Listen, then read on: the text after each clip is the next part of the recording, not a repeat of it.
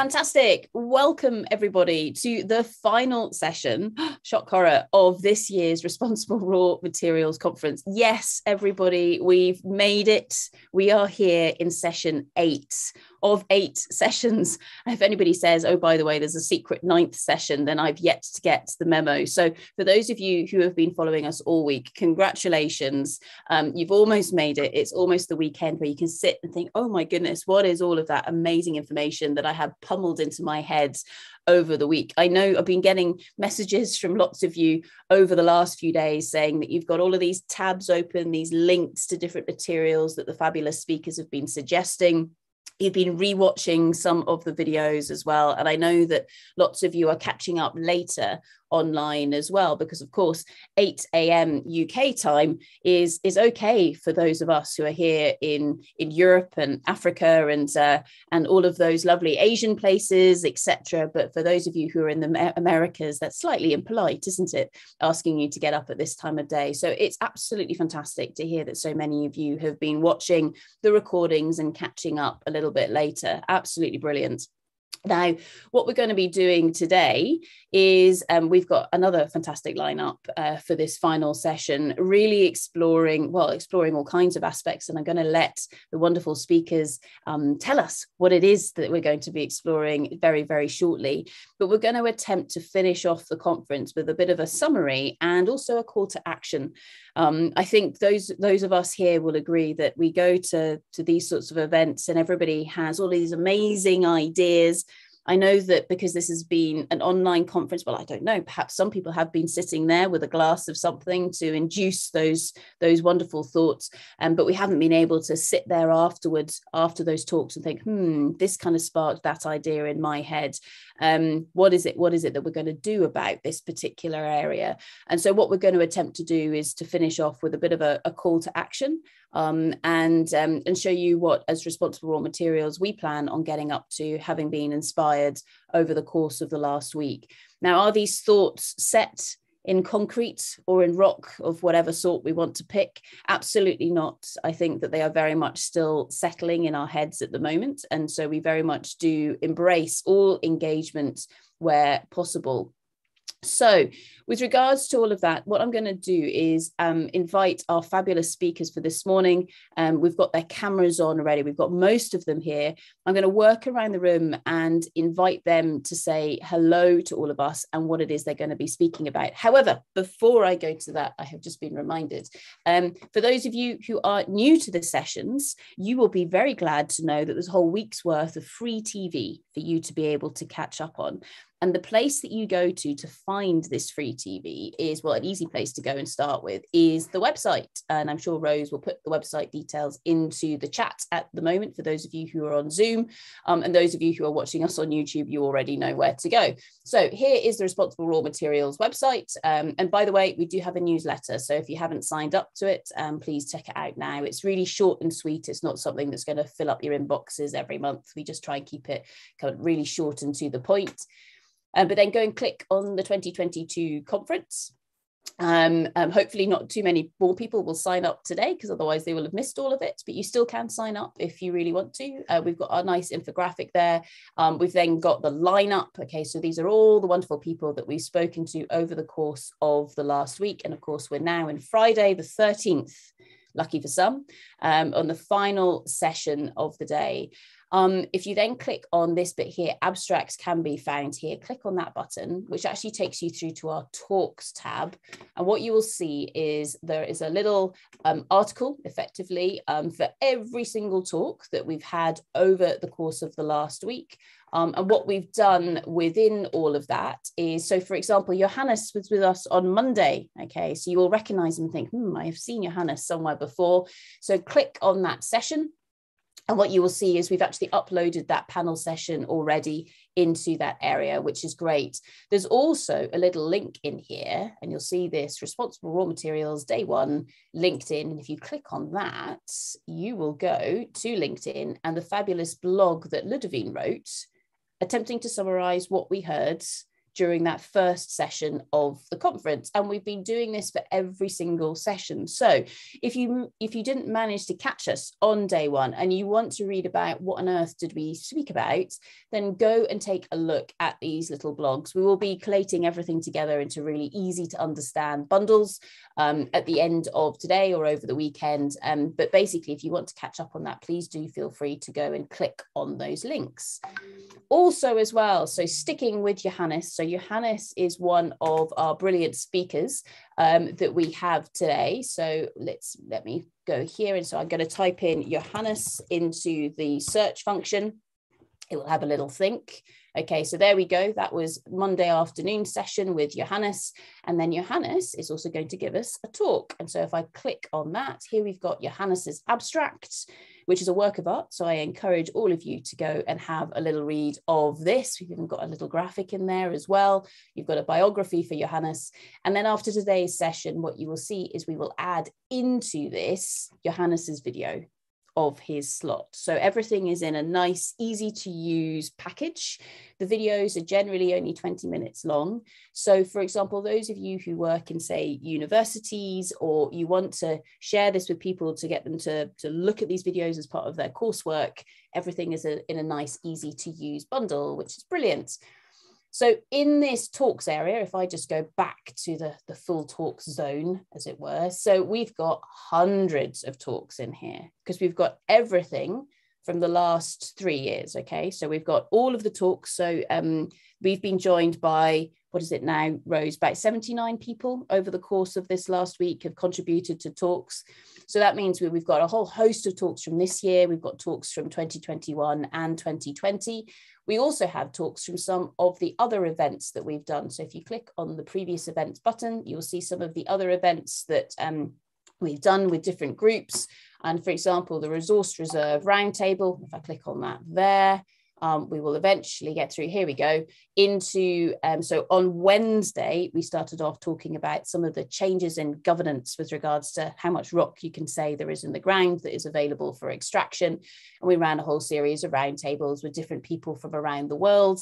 Um, if this is the area you want to go to, go and take a look at this. And quite handily, because I know that I mean, being a being a geoscientist, I think this area sounds absolutely fantastic. But for those of you who maybe aren't so excited about the rocks, you might think, oh, that sounds a bit dull. Um, there's a five minute teaser trailer. Okay, so again, it's perhaps not up there on some of the most watched films on, say, Sky or whatever um, station you like to watch. Um, but do take a look at these. So there's a whole host of previous events that we've been involved with. And then finally, if you're still looking for material, click on the learning material button. Um, and in here you will see that there are a whole load of different links um, to a whole load of different materials that are pulled together from a whole load of different fantastic websites around the world. So really trying to pull together as much learning as possible with regards to raw materials, where they come from, how they're processed, how they're recycled, how we can actually make the circular economy a reality. So lots and lots of lovely material there for all of you. If you think that we're missing something, let us know and we'll put it up there on the website. We're acutely aware that we will have gaps. Um, this is not meant to be perfect and we're just trying to get the discussion going. Rose, is there anything else I need to say about the website other than how to find YouTube, which I will do right now? She's uh-huh. saying, no, I was reading her thoughts. Excellent. So if you want to watch all of this on YouTube, there is a big button that says watch live on our YouTube here. So click on that and that will take you to our YouTube channel. And again, you'll see all of the different videos from the last three years, plus a whole host more. Um, the one that you need for today's session is this big one in the in the top over here, which says live against it. So if you click on that, you'll be able to, to come in and watch us live on YouTube, which will be great. So stop sharing um, and come back into the world of Zoom. So for those of you who are watching in Zoom, usual rules and uh, regulations apply. So please have that chat box open please communicate with us as well. Share all your lovely ideas and your links. Absolutely wonderful. We want to get that discussion going. Um, if you don't want to use chat you can use the q&a and we'll be keeping a close eye on that and making sure we answer your questions also, if you're watching on YouTube, uh, please do feel free to post your questions in the chat um, area. We're very, very, very happy to have your comments come in on that. And of course, again, we're keeping a close eye on Twitter and TikTok and LinkedIn and uh, smoke signals and carrier pigeons and anything else that you might use in order to be able to get your messages through to us. We have received questions via email over the course of the last week. And whilst they are a bit more difficult to keep an eye on whilst running all of this, do feel free to use that as well to get your questions through to us. So, with regards to that, trying to keep everything as open as possible. If for whatever reason things start to go wrong because, say, the internet begins to die on us or somebody's really naughty um, and we need to kill the Zoom session, we will do that immediately and then we will send out new details to your email addresses. So if you hear the message from me saying we now need to kill the Zoom because of fairly obvious reasons, which I'm sure we will see at the time, look to your emails and we will send you through updated details. So we do have a plan in case somebody is exceptionally naughty.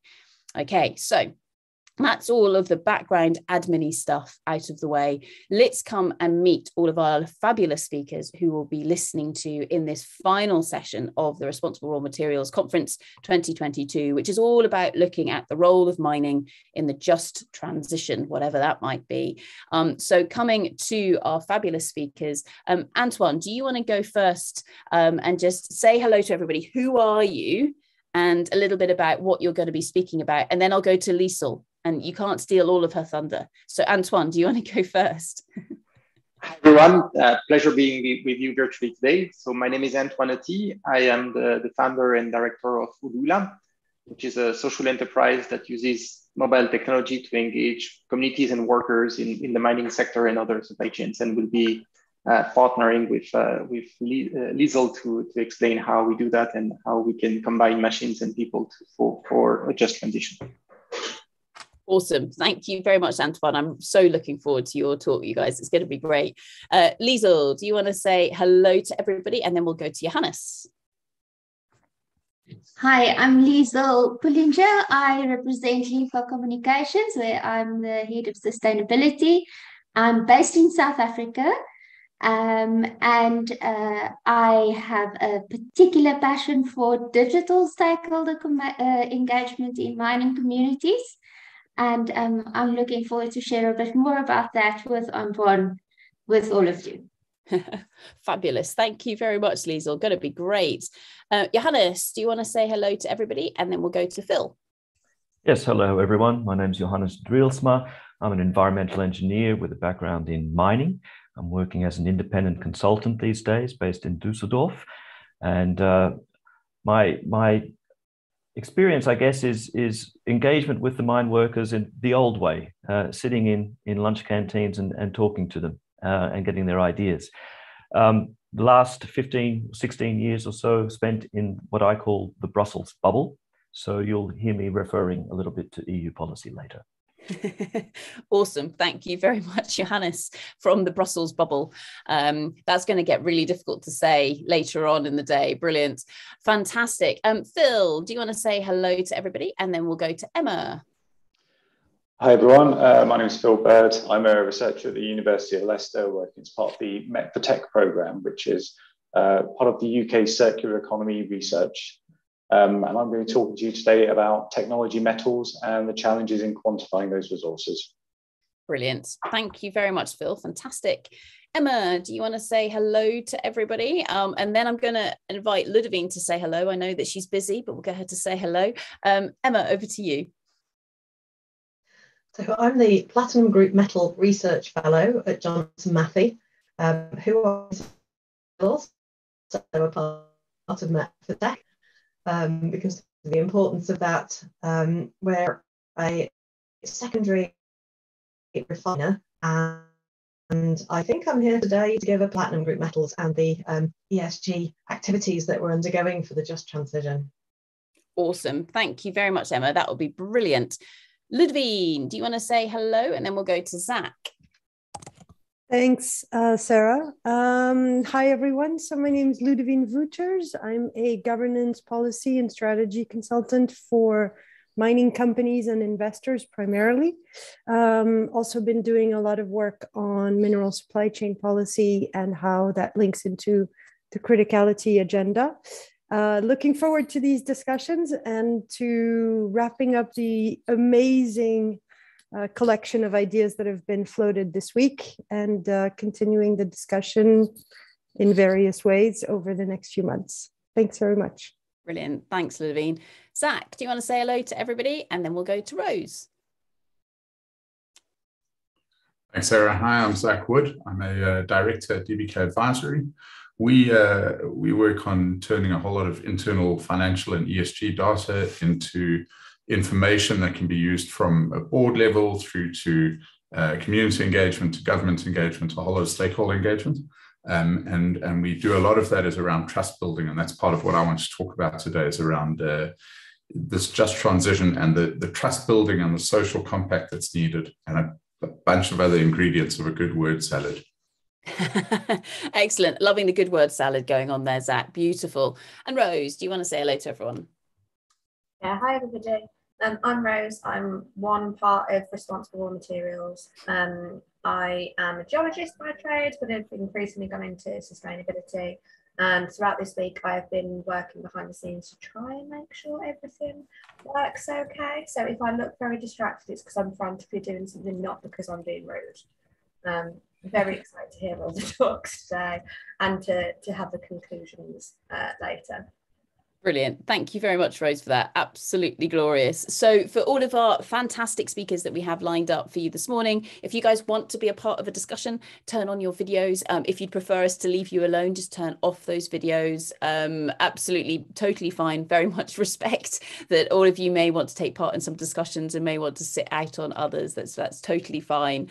Um, so, with regards to that, just a quick overview of those sessions that we've had earlier on this week. And then I'm going to pass straight across to Antoine and to Liesl. And we might get started a little bit early, which would be glorious. So just to build up to today's session. So on day one, um, the, the main theme really that came out of that session was really around, okay, how do we change the business model of mining and uh, the concept of talk versus walk. So, how do we actually make it all very much a reality? Then into session number two, where we heard from people all over the world. So, we had speakers from the Philippines, the DRC, Ethiopia, Cote d'Ivoire, Europe, of course, it was a morning session, so that's where our time zones were concentrating in South Africa as well. So, a diversity of perspectives and also setting expectations. So, how do we manage those expectations and set proper expectations amongst all of those different interested parties who have got something to do with that mining value chain and the full blown circular economy? Then into session three, um, and this is this is really where um, we became very honest with ourselves actually. And so we started off session three with the burst the bubble session which was just fantastic hearing from people who don't work within this sector at all um, and giving their perspective as to as to what they think mining is and what their expectations of the sector are. And again i mean it doesn't matter if you work in mining or you make batteries um, what do they actually expect of all of us? And that then therefore triggered a whole load of self reflection and saying, okay, we need to be honest and we need to build trust with all those different groups. So a lot of um, perhaps that um, that alphabet salad, as as Zach was referring to just then. So that was session number three. Into session number four, that started off on a very geoscientific note, um, but perhaps this was around okay, how do we change the the mechanics of the full circular economy and actually viewing the fact that mining isn't just an input actually the mining and processing is perhaps the keystone of that circular economy. So we actually we need the the reprocessing or the recycling of those materials as well as being able to extract the raw materials out of the ground in order for us to be able to have enough durables in circulation to do what we need to do for the uh, for the energy transition. Into session number five um, and so this was from dinosaurs to donut economics um, with a little bit of dignity thrown in. So it was the it was the three Ds that, and I think actually at the end of session five, that was where we ended in full blown revolution with regards to that particular conversation, which was just glorious. Into session number six, um, and in session session number six, we really discussed okay, what kind of information do we need at each point in time? So, coming from, say, exploration into the extraction, into the processing, into the design of those, um, the technology that we need, into the recycling, etc. What kind of information is needed and the diversity of the information? Because not everything is financial. So, therefore, how do we include all of that information and actually get that knowledge flow that we need in order to be able to make decisions? Um, and then finally into session seven, which was the, the one that we had uh, just yesterday evening. Um, and that really ended up in that concept of shared value. So, what is it that we're trying to build here? Um, are we just trying to make money for mining companies, or actually is this about development of society? And so, again, actually, lots and lots of links back into things like changing the business model, etc., as well. So, that's where we've got to, just for our wonderful speakers for today. That shows us a little bit of the journey that we've been on. Um, but that then tees us up perfectly to come to the wonderful Antoine and Liesl. So, Antoine and Liesl, if you guys want to find those unmute buttons, um, and I shall gently bring you to the stage of our virtual conference that we have here. If you've got slides, go for it. Um, so, everybody, if you please put your hands together to welcome from behind your muted microphones the fabulous Antoine and Liesl. Thank you very much. Over to you guys. um, thank you very much, um, Rose, Sarah, Ludovine, everyone working with us worked hard to bring this week out into the world. Um, I must say I have a bit of FOMO because, well, past FOMO because I was at, at the South African mining Indaba the past few weeks. I came back um, uh, last night, and I have a sneaky suspicion that they were a bit more thought provoking thoughts shared here than I was able to pick up where I was in person. So I will definitely be going to review some of the videos that you've posted. Um, so uh, I've already introduced myself, and so has Antoine. And today we, we wanna we want to ask a question um, of the industry and say what what what would it look like if we can bring mining stakeholder engagement into the digital era?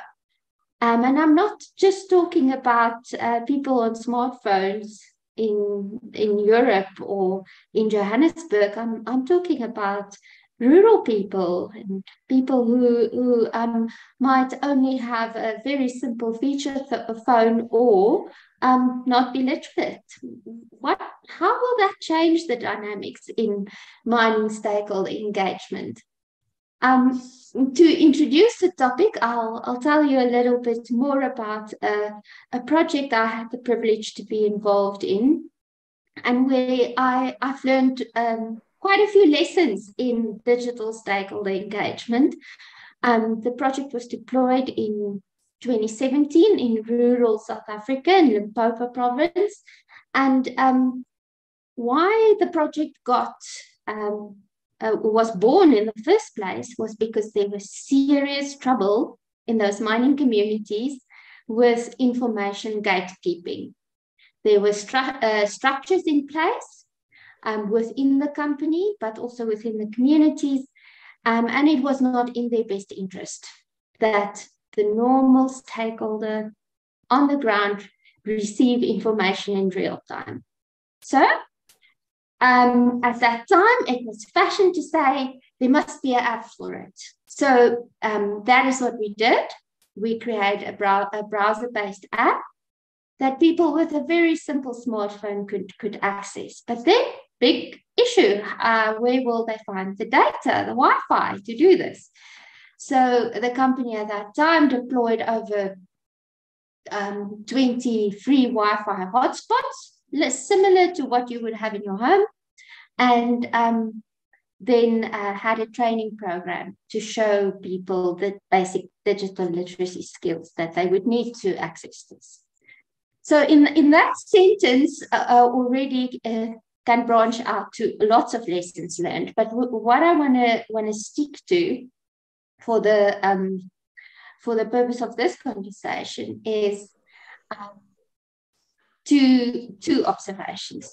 First of it, uh, the first observation is the incredible power of access to information. Uh, someone who's able to take his phone, his smartphone, his feature phone, um, and access an opportunity without having to rely on power structures or other people to provide that opportunity or to provide the information about that opportunity to them. So that's the first thing. The second thing is um, was an unrelated, uh, unintended consequence of the deployment of this program and um, is a, a, little bit on another topic, but it has to be mentioned because it was revolutionary to see. What happens if uh, a mining company decides to make digital infrastructure available to the host communities? Will they use that digital infrastructure to just um, badmouth the mining company on Facebook? Or um, will they actually um, try to actively improve their own lives and their own socioeconomic self-sustainability. And what we have found through this program and the data that we could generate behind the scenes is a resounding, I will use it to improve my own life. We, in the end, we had 36,000 um, subscribers or um, unique users. And over a period of 18 months, they accessed the opportunity tab or button over 1.6 million times. That's 36,000 people doing just showing the sheer willpower and the sheer um, uh, desperation. Is there an opportunity for me that I can access here?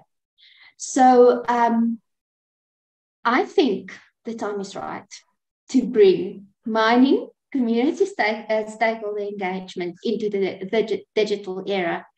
Um, at the moment, we're seeing a few barriers, and um, Antoine and I will speak about that a little bit later.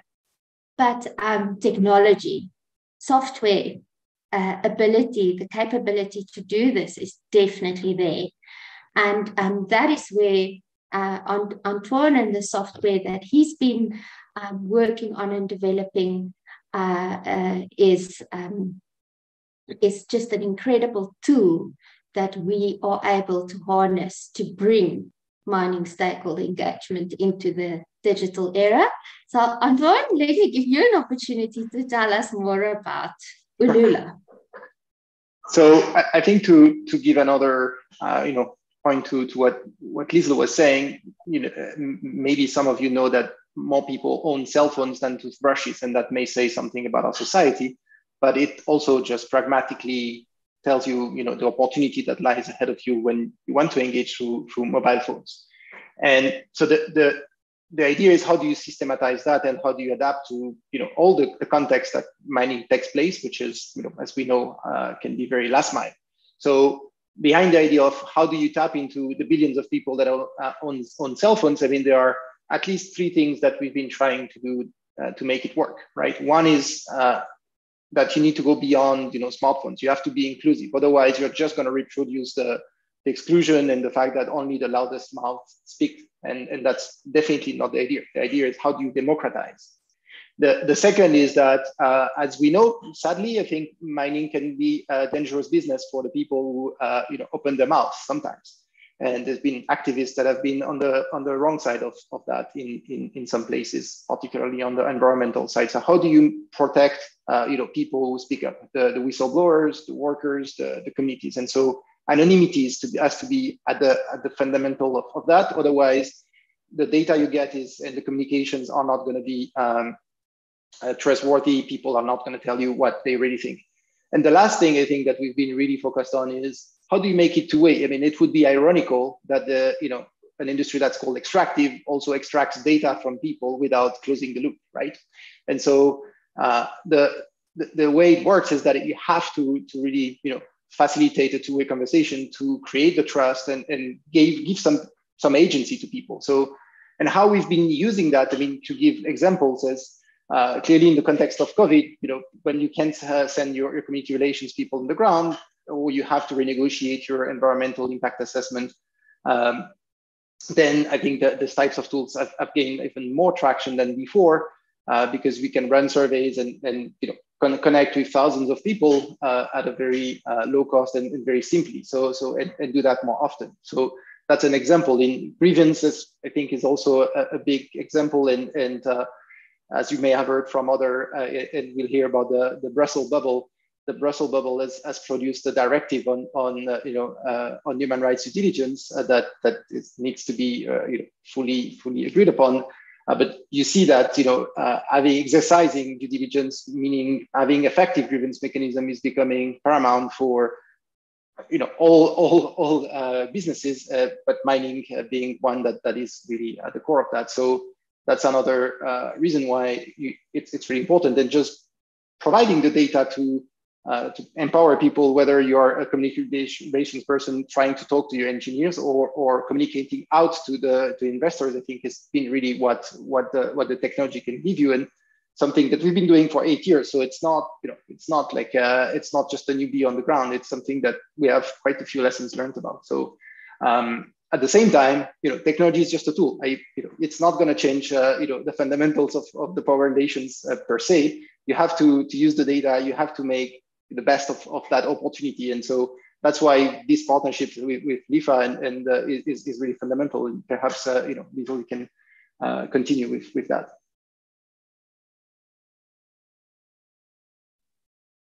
Um, th uh, thank you, um, Antoine. Uh, one of the um, uh, I was speaking with um, uh, Danielle from the ICMM Social Performance on a panel at the Mining Indaba, and she she told this beautiful story, and the the picture just stays in my mind. So I want to share it with you, courtesy to Danielle. She was in Papua New Guinea, um, and she was outside the mining area, standing on a beach, and she was watching three or four women in a very precarious canoe paddling. And finally, she realized, um, paddling towards the mining area, finally, she realized what, she, what they were up to. They were holding this, their feature phones, their cell phones up, so that they could embrace or harness the connectivity that the mine um, made, uh, made available only for themselves. And when she was able to talk to them afterwards through a, through a, um, a translator, they said, but that they went to do their cell phone banking on a precarious canoe in the middle of the ocean, trying to catch a signal. That is the power of being able to connect. And it was uh, through USSD, it wasn't smartphones or, or, or data, it was SMS based. So Antoine um, shared the, um, uh, uh, the importance of software is just a tool. It's as good as the data that we can feed it. It's as good as the activation or, or the implementation that we can give it. So, so at LIFA, we've been um, we've been taking a step back in in terms of reporting. I think that the mining industry, especially the big players, are exceptionally good at reporting upwards they uh, push out glossies. It, it's, it's beautiful. And there's um, fancy online portals for ESG information. But there's a huge gap. There, there is only a 180 degree um, uh, reporting excellence. What about those people that are most affected by the effects of mining? Not getting the same type of attention in terms of um, reporting on impacts, reporting on ESG parameters. From my experience, it's a resounding no. They're not. They, they are not getting the granularity that um, that investors, etc., are able to harness from a website. And in, in, in mining host communities who's becoming more and more sophisticated, more and more hyper-connected, when they open and they have enough data to open those same glosses, some of that is news to them. Or heaven forbid, it um, it contradicts the information that the mining um, community relations staff member gives them on the ground. So where's the truth? And what's the result of that? Trust is lost because the message is not consistent. So, in short, LIFA 360 has a big vision, has a has a dream to be able to make the ESG, the information about the mining company available with a 360 view. Same information that investors, etc., are able to see. How do we translate that into um, chunks of information that community members can receive in a channel that they are comfortable with? So um, when we when we talk about the Ulula LIFA 360 partnership, there's a few elements that LIFA 360 brings to Ulula um, that's needed for successful take or use. The first of all uh, is uh, uh, a digital engagement strategy. I don't know how many of you have children in school, um, but schools are notoriously bad with having a, a, a, um, a, integrated and comprehensive digital engagement strategy. I am on four WhatsApp groups for one child in one grade, and I have six children. So um, it would be a full-time job to keep track of all the digital channels. So same for a mining company. They need an integrated digital engagement strategy. And then uh, there must be some kind of implementation of these plans, um, including on community level, which would take an activation campaign to help them use a tool like Ulula and get used to it.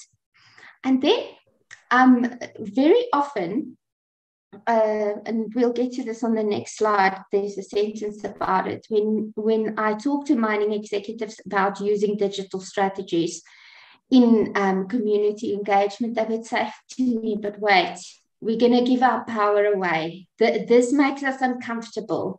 We can't control the messages that goes out. And in, in that very statement, in my view, they are giving away their power because they're giving away an incredibly powerful tool to get data about social risk in mining. Because the same information that your stakeholders are able to give you through a digital tool, the same um, the, uh, the, the, the same two-way communication that um, Ulula enables creates metadata or data about data that can indicate risk um, to uh, to a mining company. And then I challenged them and I said, okay, guys, you mine of the future. I'm seeing the control room. Oh, it's sexy. Oh, it's beautiful. Where is the social dash- dashboard in that mine of the future? The real time stakeholder information that um, uh, we the technology is there, it can be generated, it's a matter of will. And then um, once the data is available and we have been able to really listen to our stakeholders through digital and face-to-face means and integrate that information into trends. What is this really saying to us? Is the relationship improving? What's the hot topics? What's the patterns? um, etc., and report that back to the company, but also to the stakeholders who's providing this data. Um, so on our last slide, we've just thought a little bit about what are barriers. If this, if we live living in a digital era, if everything is going into the fourth industrial revolution, what are um, barriers to um, um, to implementing digital stakeholder engagement. And Antoine, maybe you want to first highlight implementing this and then I can conclude. Yeah, I'll try to be brief so that we have questions because we're running out of time, I realize. So um, I think the first is, is really to, to emphasize the message that it's not about you know substituting people it's just that no company will be you know ubiquitous and have ears and eyes everywhere at times. So it's it's more like how do you gather intelligence so that you can allocate human bodies to the, the at the you know at the best time in the best places. So it's not it's really trying to be smarter rather than to uh, to be destructive the, the the second i think is that you have this fear of losing control and and uh, the, the, the point is, you know, it's happening whether you like it or not, right? So the question is, how do you really get to, uh, you know, uh, create a, a, dialogue that is more inclusive and not just have like the, you know, the anti-mining and the and the and the, the, the, PR machines, you know, affronting each other and, and trying to really foster something that's a little more genuine and and and where you hear some of the voices that you would miss otherwise. So I think that's that's that. And the third, I think, is really what we already said is that it's not just about having a little app in Android or iOS. It's about actually the other the other way is going through SMS, through voice to get to the literate people, to get to the people in their language so that we can hear them out because these are the people that are critical to um, to making sure that you know the, the, the, impact that you are you're proclaiming to have is is really going to be to be there otherwise you're just leaving them behind Fantastic. Thank you so much, Liesl and Antoine. Um, so exciting what you guys are putting together here. Brilliant. Um, round of applause, everybody, for the fabulous Liesl and Antoine. Absolutely brilliant. Um, I've got I've got so many messages coming in at me from different devices at the moment. So so my my little um, smartphone, which yes has only works if I stand on one leg, sort of angled in a slightly northerly direction with the wind blowing in a certain way. Um, so with this, and I know that the questions will come through to you later. Um, I'm loving the fact where there's a kind of translation or, or making making the information real for people has anybody done a study where they've kind of gone to the financiers and they've gone to different communities and everyone said well, well what information do you think you know do you want? And then actually shown that to one another because so often the financiers ask us for information and we're like why on earth do you want that? The real thing that you need is this.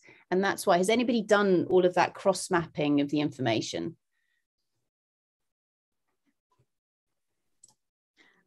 I would love to see a study on that but I think it happens in in in companies who use the GRI method of mm-hmm. uh, reporting when they do their materiality assessment. But it is not packaged in the way that you have asked the question. Yeah. Um, the materiality assessment is done on granular level. It's then take up to corporate where it's nice and sanitized. Mm-hmm. Um, uh, and then, uh, but the what you're asking is in there, but we don't have access to that or haven't seen it packaged the way that you've asked it. Yeah, because it might just, I don't know, create a little bit of empathy between the different groups, if nothing else, um, which would be mm-hmm. really cool. Um, Zach, you've got your hand up. Do you want to come in on this?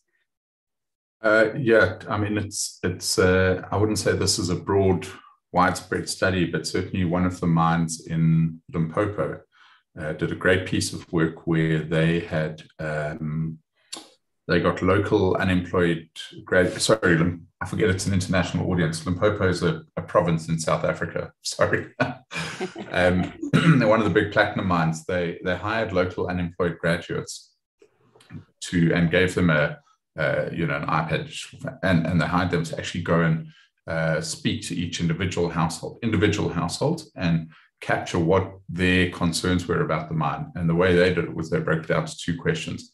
What do you like about the mine? What don't you like about the mine?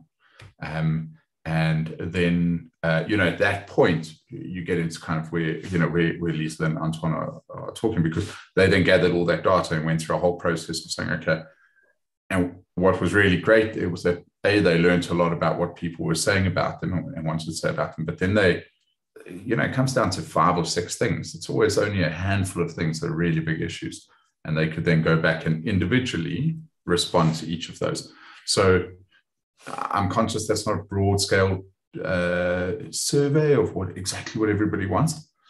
But I think my point is it may not be useful to do that either because these you know communities are not monolithic and, and they're certainly not all the same all over the world. They're not even the same village to village to village, you know.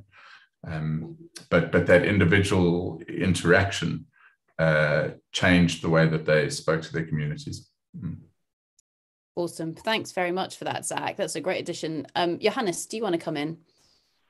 Yes, uh, I love your survey question, uh, Sarah. Th- th- this is really needed, and, and I'm, I'm, aware of a couple of things that might have been done. So um, I will post links later. I, I have been involved in some research that was funded by the European Union, where we went as far as looking at what are some of the big clumps of stakeholders asking for. So we looked at global reporting initiatives, we looked at um, uh, mining certification schemes, and then we looked, for example, at um, the practice of life cycle assessment. And we, we saw indeed there is a mismatch. You know, the, some of these schemes are very much asking what the, what the uh, consumer on the high street wants to know. Um, and others are really focusing on what the host community wants to know. And they're not the same. So I can post a link to a to an open source paper on that. The other um, example I know of is uh, again funded by the EU, a research project that has um, put together a proposal for another certification scheme for the mining uh, of minerals, but they took the approach of recognizing that there will be different demands at different stages along the value chain. So they produced a set of four distinct standards that must be connected for the uh, mineral production to be sort of certified as okay. And so that's quite interesting because they will have gathered then um, the, the requirements of each standard will be tailored to the stakeholders of each step in the value chain. And I would imagine there that you see a contrast. And when I post that link, you may see that there's an open consultation on that set of standards uh, with uh, comments due by end of June. So that's an opportunity for uh, attendees to, to engage and contribute. Fantastic. Thank you very much for that, Johannes. Um, Ludovine, I know that you want to chip in on this discussion as well. Thanks. I'm I'm veering a little bit away from your question, but I just wanted to to perhaps connect some dots. Um, you may remember in February, Rio Tinto came out with a fairly brutal assessment of its corporate culture. Um, I'm not pointing fingers at Rio Tinto because, quite frankly, they put on paper what is prevalent across the industry, and they did it in a very brave way. One of the things that really struck me is that beyond the you know the, the the limited discussion there was really a huge point that was made about a structural weakness in our industry which is the huge silos and the complete disconnect from corporate headquarters to operations.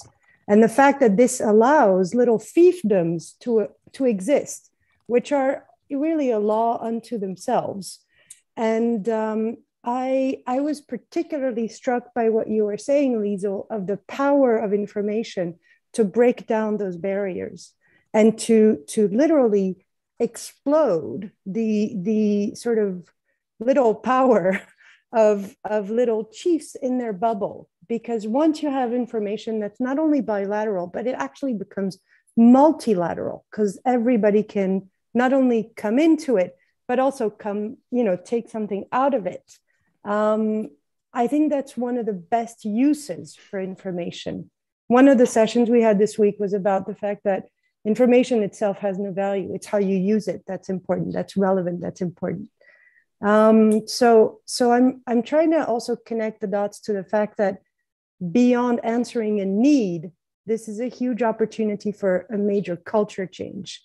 And seeing as that element of culture has caused us frankly, to be the worst versions of ourselves in many cases. Um, I'm, I'm slightly hopeful from your presentation. so that was just my two cents. And I can see that Antoine already has things to add. Thank you. Brilliant. Thanks, Ludovine. Antoine, let's come to, to yourself and then we'll go to Liesl for any final final comments. And then and then Johannes will be on to you. Wink, wink, nudge, nudge. Brilliant. Antoine, over to yourself. Yeah, just to, to pick up on Ludovine's point. So I think there, there are two elements here that where technology provides like very specific value. One is, as you say, it's like it creates accountability through, you know, breaking the information silos. So you can have like corporate to site and then to third parties also that are maybe trusted by uh, by women in this case. And, and something that we do in many industries where what we found, for instance, is compared to sending an auditor to a, a you know a factory saying, you know, is there sexual harassment? When you use mobile phones, you get up to 30 times more detection of, of sexual harassment. And why? I mean, it's not about magic. It's first because you're not interviewing 20 people, you're just getting hundreds or thousands depending on the size. And second is like if, if I show up with a nice suit and, and ask like, are you being, you know, do you face harassment? You will not trust me and, and you will be much more truthful. I mean, this in psychological studies with your phone than with your uh, a, a, a stranger, right? And so they are, you know, the, the example of, of Rio Tinto, as you say, it's just, it's brave, uh, and it, but it's something we see across, across many industries and many sectors. So um, that's where there is, there are interesting pro properties within technology that, that I think can make the, the voices heard in, in a more effective way and, and facilitate remediation at the end, as you say, you know, information is alone is, is useless. Is then how do you translate that into remediation for women in this case and for others in, in, in other uh, circumstances? Awesome. Thank you very much for that, Antoine. Great. Liesl, do you have any final comments? No, thanks, Sarah, and uh, thanks, Ludovine and Antoine. I think in that in that vein, um, uh, for those who don't work a lot on ground level in, in rural communities, easy to underestimate the intimidation that is going on in mining host communities. I think to use mobile phone technology um, that has an option of an anonymity to um, say what you want to say and not be put on the spot or intimidated has a huge potential to filter out the noise of intimidation, not just by the mind, also by structures within those um, mining host communities. Uh, thanks again for the opportunity and looking forward to listening to the rest of the conversation. awesome. Thank you so much for that, Liesl and Antoine. Massive round of applause. Absolutely brilliant. Fantastic. Thank you very, very much. Brilliant. So moving on to our, our next speaker, um, who you've all met already. Um, so the fantastic Johannes. Um, so Johannes, if you want to come to our virtual stage, I'm going to post your abstract into the chat so that everybody can take a look at it. Um, and Johannes, do you want to reintroduce yourself and perhaps start with some opening comments? Round of applause to Johannes. There we go. Yes, sure. So um, my name is Johannes Drielsma, environmental engineer by training, and um, started my career with uh, the mining industry in Australia. Um, I've spent the last 20 years living in Europe, and most of that um, spent representing the mining industry towards the EU institutions in what I called earlier the Brussels bubble. And so um, I think, you know, in my abstract, I'm, I'm putting together some ideas which were in part um, my impressions from the opening session of this week's uh, conference, um, where I, I felt that um, I, I have attended a lot of events and a lot of conferences about responsible sourcing of raw materials, where from my perspective, an engineer having grown up on site, um, you know, there's a risk that we still get a little bit stuck in, a, in sort of high level discussions of uh, generalize, you know, generalizing things. Um, and, you know, this, this contributes to the idea of, of a bubble in Brussels, or maybe sometimes a, a Geneva bubble. Um, yeah, and and of course, you know, this is a communication challenge and a, and a consultation challenge when we when we speak to um, you know, broad groups of stakeholders. But there is a tendency to sort of narrow things down to you know two word labels, usually an adjective and a verb, or an adjective and a noun. You know, sort of responsible supply, sustainable development, green mining. Um, but it feels to me that we've been doing that for a long time and we might need to get down into some or more of the detail and break open some of these generalizations. Um, so, a good example, I think, is when I attend events where people speak about what the mining industry should do. And I immediately have the question well, who do you think is the mining industry? And how would we possibly influence the mining industry? Um, does it really only include industry or does it also include uh, informal mine workers, of, of which there are many?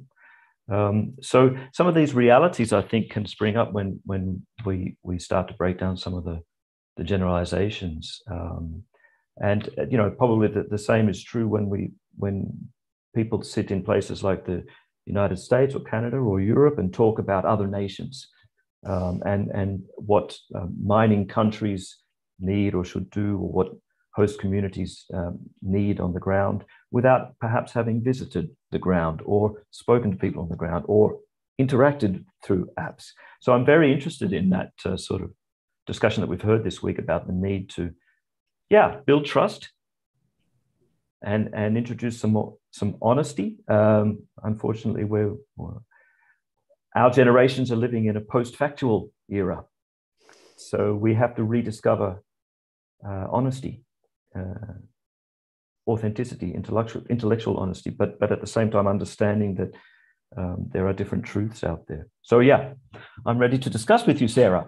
Fantastic. So Johannes, let's just then pick up on um, point number kind of one of those points that you mentioned. So what is mining? So what what do we think mining is? And then perhaps let's look at it through a european lens. So what does what does mining mean in that brussels or geneva bubble versus perhaps what does it mean to the broader world? Yeah indeed. So i think what would be useful for everyone um, certainly in brussels to think about is that mining uh, is not necessarily a single industry or a single activity um, and mining is very much a human response to uh, a demand for materials. So I'd like to think about it as there, there has always been, there, there is today, and there probably will in future be a whole spectrum of actors in uh, the activity of um, of, of having raw materials from, from the earth. And that ranges from the, the top leading mining companies with all the, the biggest budgets, and all the biggest brains in the world, so doing things in, an, in you know very well, and um, all the way down to, you know, quite frankly, uh, criminal actors. I mean, we have to acknowledge that in some parts of the world, uh, the mafia is involved in mining, or you know, really organized crime. Um, I don't think it's useful anymore to talk about a future that where all of mining is only undertaken by these top leading companies that do everything in a perfect way. That's not how it will work. And probably, if we want to um, make the biggest difference on the ground, we need to think more about um, regulations, tools, ways of communicating, ways of promoting change with everyone in between. So all of those actors in the in, that in the mining uh, activity that are neither leading companies, neither criminals, but are uh, extracting raw materials out of the earth. Um, so and and in Europe, the same is is true. Um, perhaps with a, in a in a broader, uh, sorry, a more narrow spectrum, where we um, don't necessarily have the largest uh, most dominating mining companies active in Europe anymore. Um, we probably do still have some criminal activity in some parts of Europe, you, despite the, the, the, tight regulations. Um, but we have a very, very uh, competent um, collection of uh, incumbent mining companies that have um, uh, remained, survived, com- continued to compete with their international um, colleagues um, and are and are doing a very good job in, in terms of um, running very sustainable, productive mines. Um, so, I I would encourage more recognition of the diversity, indeed, in the sector. Um, and do you think? And do you think that? Um, I mean, so within within, let's just just focus in on Brussels here. is is mining in the conversation or is mining seen as being a negative activity? And I say this from the perspective of, say, COP26, some of those global conferences where mining doesn't have a seat at the table yet for, for various different reasons.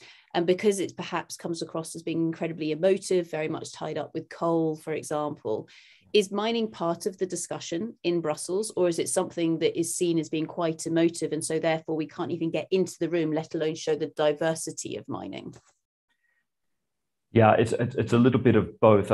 Sometimes um, those of us who interact with the European institutions might feel that there's a bit of schizophrenia going on. Um, I I think the stepping back, there are some some broad realities uh, at play in Europe and, and some broad sweeps of, of, of history, if you like. So, um, first of all, um, mining activity has reduced in Europe.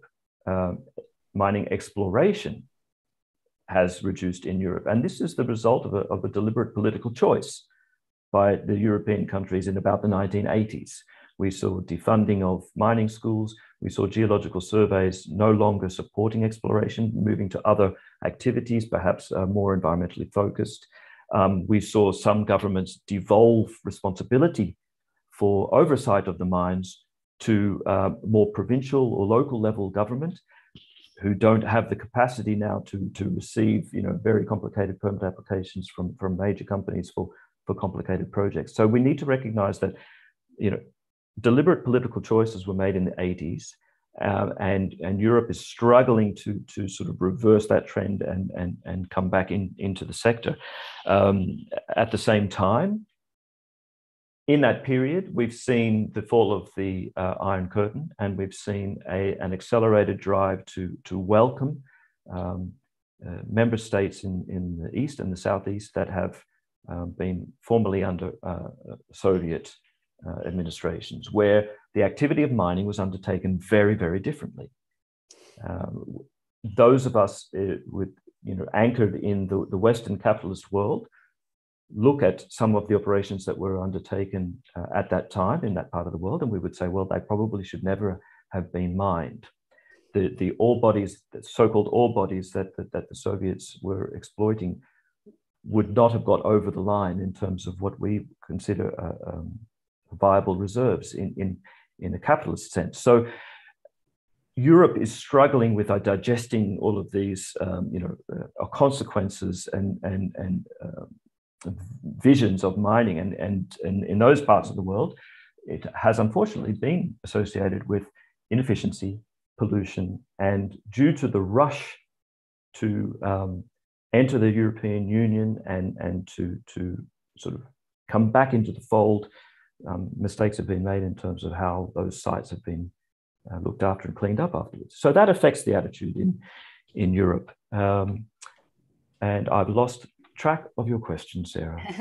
so, well, it's it's about, um, I guess, is is mining? How is mining discussed within Brussels? But I think right. just maybe, yeah. Do you, do you want to address that? Uh, yes, there's a double speak at, at play. So, um, unfortunately, we are at a, at a juncture at the moment where the word mining um, is uh, not tolerated. I would say at a certain political level.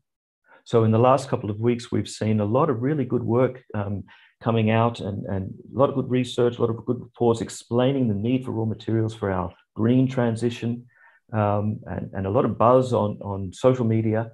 But if you look at the statements made, even by those politicians in Brussels that support this work, they manage to talk about it without mentioning the word mining. so we talk about raw materials, we talk about responsible supply, we talk about supply risk, we talk about diversification, uh, domestic investment, but there's a lot of talk about uh, circular economy and recycling and, and a real reluctance to even use the, the term mining. So do we need to change the words or you know what do we need to do to to fix this because this isn't this isn't tenable in terms of us just ignoring you know everybody who is doing what we know as mining we need to be able to get that into the room is it as simple as just saying right we're going to call ourselves um that you know resource supply or, or something like that and we've had various discussions about that earlier in the week yeah, and, and I've had discussions like that with the industry in the past. You know, do you want to rebrand yourselves as the raw material supply industry? And I got very strong pushback from the people within the industry. They're, they're proud to be miners. I don't know. I think this is wordsmithing, and I think this is dodging the, the, the, the real um, issue at hand. And that is what we've heard earlier today and, and from previous panels this week, which is um, we need to um, move from the talk to the walk. And um, we need to make more information um, available to different parties and, and have more trust building, more understanding. And I do, I, I I feel quite strongly about the idea that each party, each um, community should come and explain their mental model, if you like. I think when in, in earlier this week we talked about business models, mental models, and where the industry um, perhaps has failed uh, so far or, or recently is we don't explain enough our mental model or the reasons behind our mental model. And that leaves mis, um, uh, misunderstandings unaddressed. So I will very often hear statements made by politicians or stakeholder groups or, or European consumers about the, the motivations of mining companies, why big corporate companies do the things that they do. And um, very often, I think this is a misunderstanding. We, we need to go into those fora and explain well, the reason that we fund exploration that way, or the reason that we assess mining projects in that way, the reason that we're driven to do things this way is because we are thinking about the, the resource, the reserve in a certain way. We're talking, we're thinking about return on investment. We're not necessarily um, trying to maximize profits, but we are trying to maximize the value of the deposit. And we are open to discussing, um, you know, to what extent uh, windfall profits at the, in the good times get redistributed to our host community. So we need to uh, explain um, the, if not the only truth or the reality, at least our mental model, the way we think about the way our system works. And I, I think maybe a, a, an example to link to the previous talk, um, I would tend to agree. I, I, I think it's, it's um, it resonates with me. The idea that the leading companies are very, very good at putting out glossies to address you know, upwards, perhaps the, the, some audiences with their reporting, and not so good at um, addressing the, the local community. And I recognize that there probably is a fear of losing control. One aspect of that, one element of the, of the mental model of the people in the companies, I think, is that that sort of communication, that control of information is very, very strongly linked to legal risk. Lawyers get involved, security exchange commissions get involved, stakeholders get involved, and this is not helpful. I mean, so they, they have a role that they to protect um, people's um, funds, basically, but it does get in the way with um, uh, what we would prefer in terms of engagement with stakeholders. In some countries like Germany, France, Belgium, there are rules around who you speak to and, and in which order. So you need to be able to, to, to show that you've consulted your workers before you've consulted anyone else. And so there are structures in our societies as well that, that we need to look at in terms of how do we optimize uh, engagement with communities. Brilliant. Thanks for that, Johannes. So just kind of spinning this round perhaps into a final topic for us to discuss uh, to discuss, and that's around all of the all of the minerals and metals and materials that we need for batteries for example so let's just focus in on the on the battery bit for the moment and so as you were mentioning in the 1980s europe made the concerted decision to to sort of um, I guess, wind down on the mining side. Meanwhile, China was doing the total opposite, and China was spinning up its minerals and materials strategy.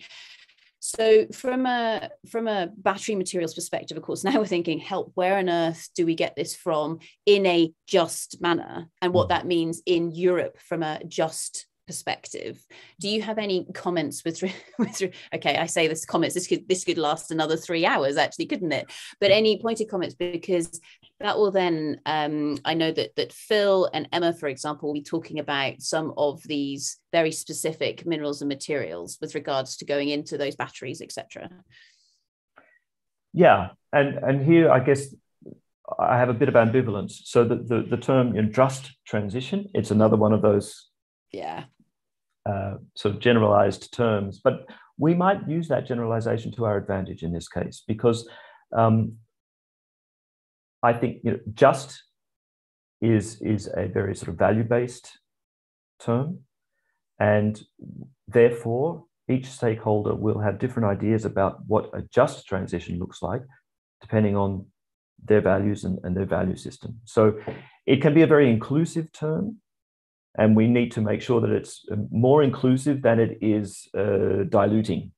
Yeah. Um, but I would I would suggest that in order for the transition to be just, we need to to be um, having dialogue with the different stakeholders to understand what you know how inclusive could that term be. Just in terms of um, uh, trying to avoid um, societal detriments, you know, the, the, ways of doing things that, that, we, that we don't think fit our values, at the same time respecting the values of others, um, just in terms of um, who has access to the to the uh, to the final products, but then who can also benefit from the production of those of those final products. So, just to be a little bit provocative, is it just to uh, deploy a global supply chain, um, have a lot of the processing come through a single country, and then to sort of swallow up and and and and keep to ourselves a kind of uh, you know by recycling all of those resources. Um, that's question.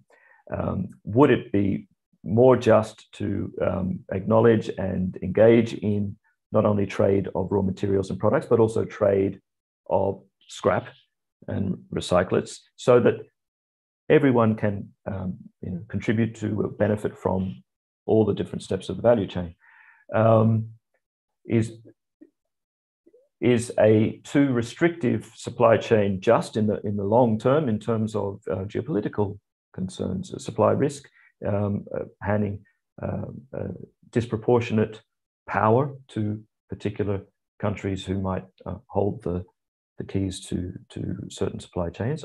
On the other hand, as I mentioned to you at the beginning of my talk, uh, so long as there's sufficient demand, there should always be openings for new entrants into the market. They might sometimes need government support. So we look at rare earths, for example, where it's clear 10 years ago, uh, most of the production was coming through China. Um, now, through pretty concerted support from some governments, I'm not sure that's um, totally well known, particularly the Japanese government and the Australian government, the uh, proportion of rare, rare earths that are produced outside China is starting to increase. And this is not um, to be anti China, but it might be therefore a little bit more balanced, perhaps a little bit more just. Great. Thank you very much for that, Johannes. As, as you know, we could carry on speaking all day with regards to this, but thank you so much for bringing into the room the European context, because Europe as, as a part of the world is incredibly complicated with a huge amount of history. Not to say that other parts of the world don't have history as well, um, but I think it's something as well where when decisions are trying to be, be made within Brussels or Geneva, for example, actually all of those member states are sitting around that table and perhaps um, not we're not necessarily i don't think it's it's very easy actually perhaps for and i say this with with a deep breath those of us who are outside of europe mm-hmm my sincere apologies with regards to that. Um, it's quite difficult for us to actually comprehend the complexity with regards to some of that dialogue um, that is happening with, within the European Union. So awesome. Thank you so, so much, Johannes. I know that you're going to hopefully stay with us through the rest of the morning and we look forward to you contributing to the other talks as well. So brilliant. Thank you very much, Johannes. Brilliant. My, my pleasure. Great. So um, you heard me mention some of those really important materials that are needed for all of this technology, which takes us straight into the fabulous Phil Bird. Um, in his introduction this morning, you heard him talk about this thing called uh, Met4Tech. Um, Phil, if you want to um, start sharing your slides and come to our virtual stage that we have in front of us, and I'll invite you to reintroduce yourself just in case people missed it at the beginning, and then um, get going with what you want to add to the discussion. Thank you very much, everybody. Over to Phil. Um, hello, everyone. Uh, thank you, Sarah, for the introduction, and, and, thank you to Sarah and Rose for inviting me to talk here today. Uh, my name is Phil Bird. I'm a researcher at the University of Leicester. I'm working on the Met4Tech project. Um, this is focused on technology metals, but is, is part of the UK's broader circular economy research program called NICER. Uh, and today I would like to talk to you about technology metals and the challenges in quantifying the geological stocks of these resources. There we go. Uh, so our technological infrastructure now utilizes a greater diversity of metals than at any point in history, with over 40 metals being considered critical to maintaining our social and industrial structures. Uh, the diversification in metal use has occurred at the same time as a, a, rapidly expanding global middle class and increased patterns of consumption that have driven the demand for metals ever higher. So many of these metals, such as tellurium, indium, scandium, some of them are highlighted in red, uh, possess unique properties that facilitate specialized uses in electronics, magnets, advanced alloys, etc. And in individual applications, only require very small quantities. For example, uh, the touchscreen of a smartphone has a 0.01 grams of indium in it uh, on the surface coating. But these specialized properties also limit potential substitution, and many of these elements are extracted from the earth as byproducts of other mining activities. Uh, so what do I mean by that? Well, in general, the current mining paradigm is focused on a, a high value or high volume main product, uh, such as copper, aluminium, or iron. You're being extracted from the ground, beneficiated, and shipped for refining. Uh, this block of ore, though, will contain other elements in addition to the main product. And some of these are of interest to the mining companies. For example, copper ores commonly also yield gold and silver, and these are called co-products. But the remaining elements, which include many of these technology metals, are generally not of interest to the mining companies. In fact, they might actually be penalized if their ore is too rich in these elements when it's shipped to the refiner. Um, the refiner, though, is able to recover these elements in the process and sell them at a profit. For example, tellurium is recovered from copper ores as a necessary step in purifying gold concentrates.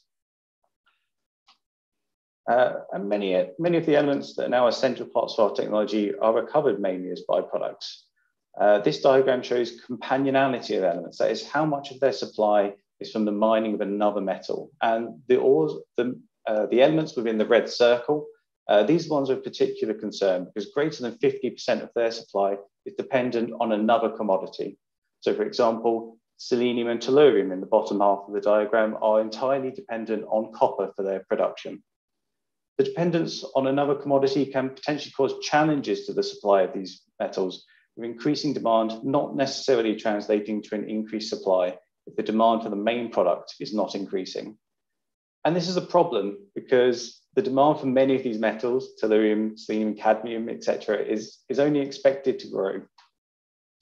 And that's because many of these high companionality byproduct elements are essential te for technologies integral to the green transition. And we need a lot of these metals. The UK strategy for net zero and electrification of the internal combustion fleet will require an estimated 10 years of current neodymium and dysprosium production, two years of annual cobalt production. And that might be achievable if it was just the UK, but every industrialized nation is doing the same thing. So we need decades worth of global supplies of these metals, and we need them as soon as possible. And one suggestion people brought up recently is recycling. It's the hot topic, and there have been many calls recently for us to stop mining the earth and to instead mine e-waste. But we need many times more of these materials than has ever been mined. And unfortunately, for many of the elements, the current applications are in a form that is simply not amenable to recycling. So for now, we need to carry on mining. But there is a fundamental lack of knowledge regarding the stocks and flows of byproduct elements. The diagram here shows a model estimating the cumulative flow of tellurium from copper mining and refining over the course of the 20th century. Uh, the majority of tellurium has been lost, with only 4% of the estimated potential resource making it to the market. Uh, the important point, however, is actually that this is an estimate, and in truth, there are no good models for either primary tellurium resources uh, and also the data on the efficiency of recovery is highly contradictory. And what is the problem with this? Well, it has some really serious impacts. It limits attempts to improve recovery efficiency in active deposits. It limits our ability to conduct long-term economic planning. Uh, it limits the flexibility of supply. We do not know where a lot of these elements are, and we're currently relying on only a few small sources. Um, and unfortunately, it results in countries with these resources unknowingly exporting their critical elements, which they may need for their own green projects. And they get almost no remuneration for this. And often, in fact, they will have to pay a penalty on these elements. Uh, regrettably, the net flow of material is also from less developed to more developed countries. So, for example, Belgium is one of the leading uh, suppliers of tellurium and selenium in the world, despite having no native copper deposits of its own. So why don't companies produce models for these byproduct elements? Well, if you examine technical reports for uh, active or mine, active mines or deposits that are being currently explored, you'll find that the collection of multi-element data, including many critical elements, is conducted as standard. So on the diagram here is for the Pebble deposit, which is a, a multi-million uh, ton copper deposit in Alaska. And it's the history of its exploration for its technical reports. Uh, and you'll be able to see that from the earliest days of the projects, they were conducting geochemistry that included uh, technology elements such as tellurium, selenium, rhenium, um, but they were not publishing estimates for the resource. It was always focused on gold, copper, and molybdenum. And the Pebble deposit is, is interesting because following the publication of the, the US's 2018 critical minerals list, which included rhenium for the first time, they actually produced in their next technical report an estimate for a rhenium resource. And they did this by using archived geochemical data and limited geochemical modeling. And they were able to present a rhenium resource of 2,615 tons, which is enough for 44 years of annual rhenium supply. Um, so if the necessary data is there and it's widely available, why don't we see more critical element resources from these, these large copper deposits or other similar deposits? Well, reporting of res resource and resources, uh, reserves and resources is governed by a number of national and supranational codes who have strict definitions for what can and cannot be classed and reported as a resource. And while there are multiple restrictions, such as concepts around materiality and public interest, fundamentally, it comes down to one of value. All the codes, and here is some of the, the language they use, require that a resource has reasonable prospects for eventual economic extraction. And unfortunately, in the case of the byproducts, that just isn't the case from the perspective of the mining company. Here, the distribution of value in ore material from selected porphyry copper deposits is displayed. And you can see that gold and copper, with less frequently molybdenum, dominate the value of metals contained within the ore. And in fact, all of the byproduct elements combined account for less than 1% of the total value of metals in the ore. A common refrain is that as demand increases, the price will go up and people will explore for and mine these metals. But when you consider that gold and tellurium, for example, occur at similar concentrations in these deposits, the price of tellurium would need to increase to something similar to levels of gold for it to be of real interest to a mining company. And at that price, all but the richest nations and customers will be excluded from any technology that would be related to it. So if they are such low value, how are they ever recovered? Well, as I said earlier, the refiner doesn't have to pay for the cost of extracting and processing the ore. And in fact, it charges mining companies a penalty for having to purify their gold.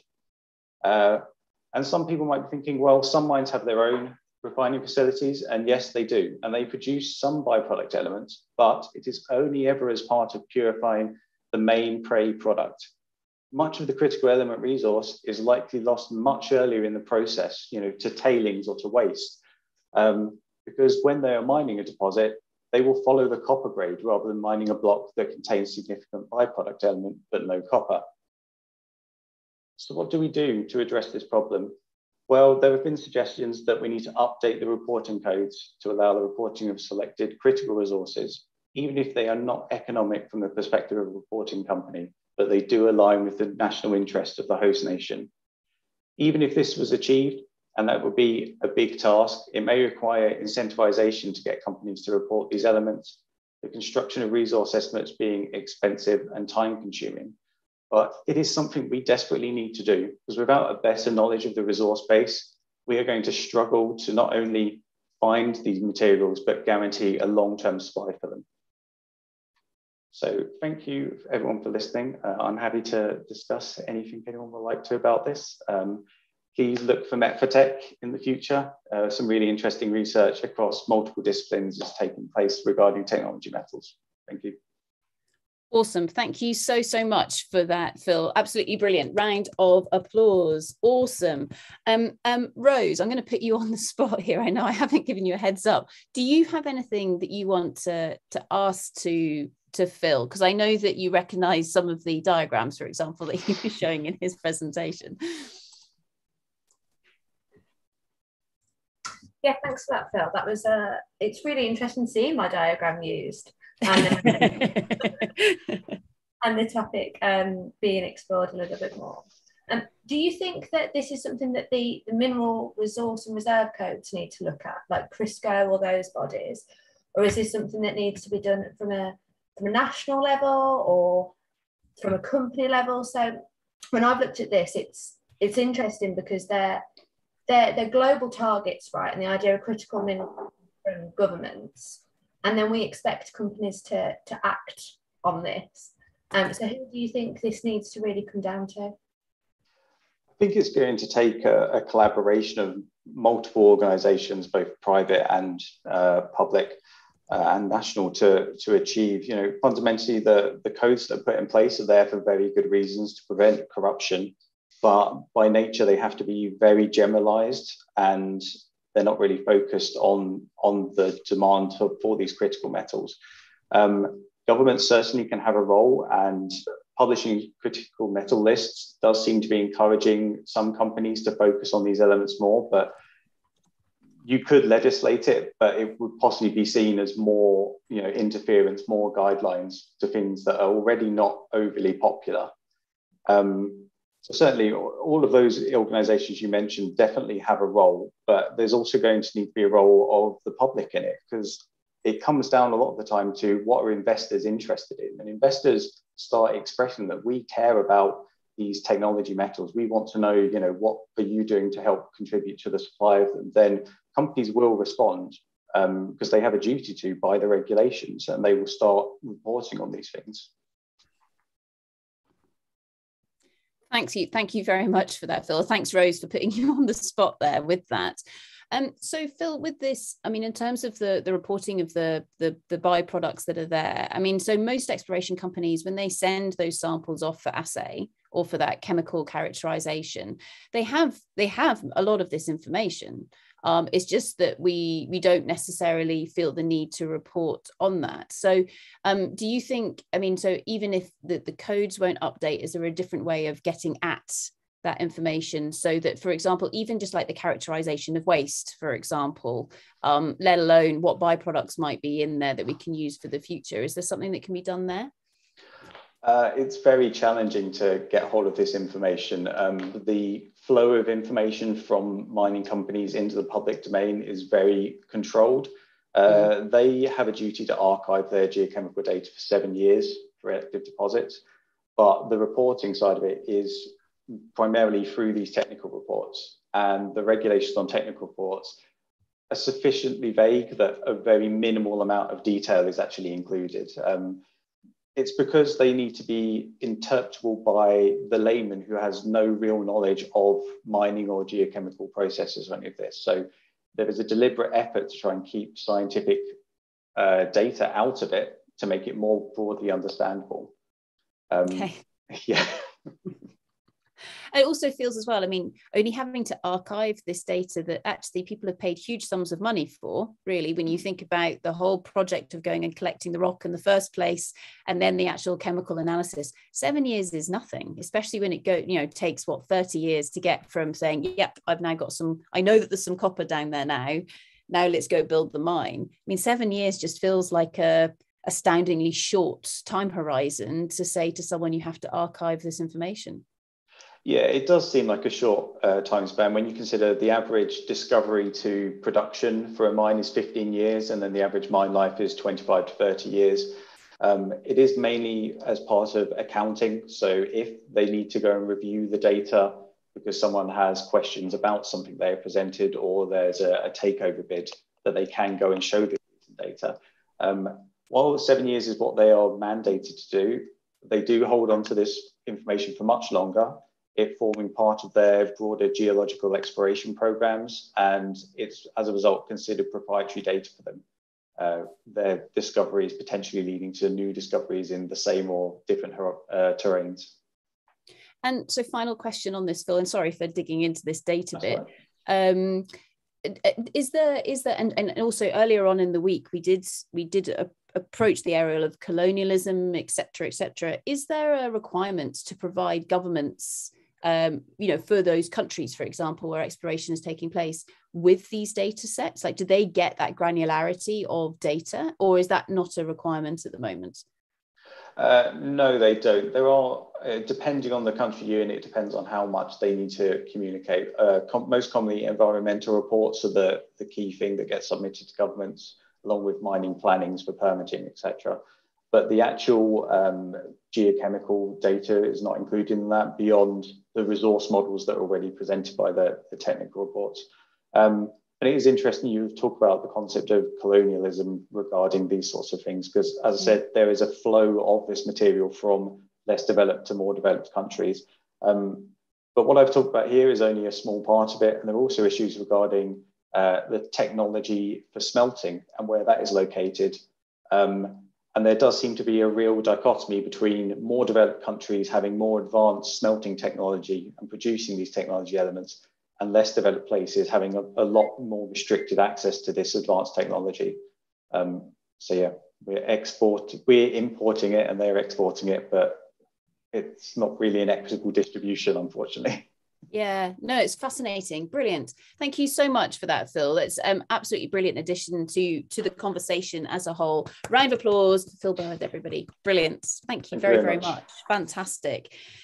Great. So it now gives me great pleasure to welcome to our virtual stage the fantastic Zach Wood. Um, Zach, if you want to hit the various buttons your end that are needed to bring up that slide presentation. Um, and um, and Zach, as you can see here, well, I'll let Zach, I'll let you introduce yourself, sir. So everybody, please, round of applause for the fabulous Zach Wood. Thanks, Sarah. I uh, am uh, sorry about the. Hopefully that doesn't come through the background noise. um, guys, thank you very much. I, I, after some quite technical and really great presentations, I, I'm taking a step back and a slightly more philosophical and high level discussion because I want to talk about the social compact that underlies or uh, is so closely involved in this concept of a just transition. You know, we, t- we talk about the just transition and we've been talking about it on quite a technical level but there's a broader and more fundamental change needed here and some broader work. And so I've been quite deliberate about the agenda for a future period. Uh, you know, this is not, this is not, we mustn't confuse ourselves. We're not talking about specifically for mining or what is one country going to look like. This is what does the world look like as we move forward. I want to introduce you to my son. I want to start off with that. Um, so if I ramble today or anything sounds a little incoherent, it's because I haven't slept in 16 weeks. Uh, but also, if I flirt with sometimes sounding a little bit overly emotive, um, it's because there's a good reason to be. And I think for all of us, it's useful to remind ourselves that these little uh, these little things are a lot, a lot of the reason why we're doing this. Okay, is what does that next generation look like? We're only stewards of our time uh, we will pass. And what does the next look like? Just so everybody's clear, that's a child, not actually a penguin. It's a child in a penguin suit. Um, anyway, that's my boy Colin. But I'm conscious he's been born at this terrible time. He's going to live through turmoil like humanity may never have seen before. Uh, you know, as climate change really comes to bear, um, we've got this continued political instability. We're going to see more and more breakouts of war closer to home.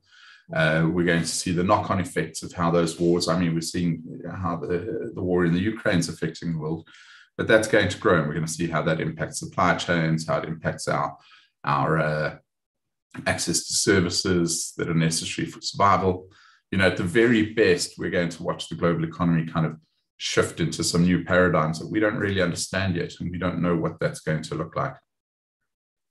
And I hope it's a shift. I hope it's a transition because the alternative is significant. Uh, and we'll come back to that now. Um, but saying that, I'm also conscious that Colin's very fortunate because he's been born into uh, relative prosperity. He's been born into a family with the, the means to make sure he has access to good healthcare. He has access to uh, um, good education. Uh, we have discretionary times. So we can make sure that we spend time with him. I don't have to get up at three o'clock in the morning to walk 10 kilometers to catch a taxi for two hours so that I can get to a job that's going to pay me, you know, 300 Rand a day.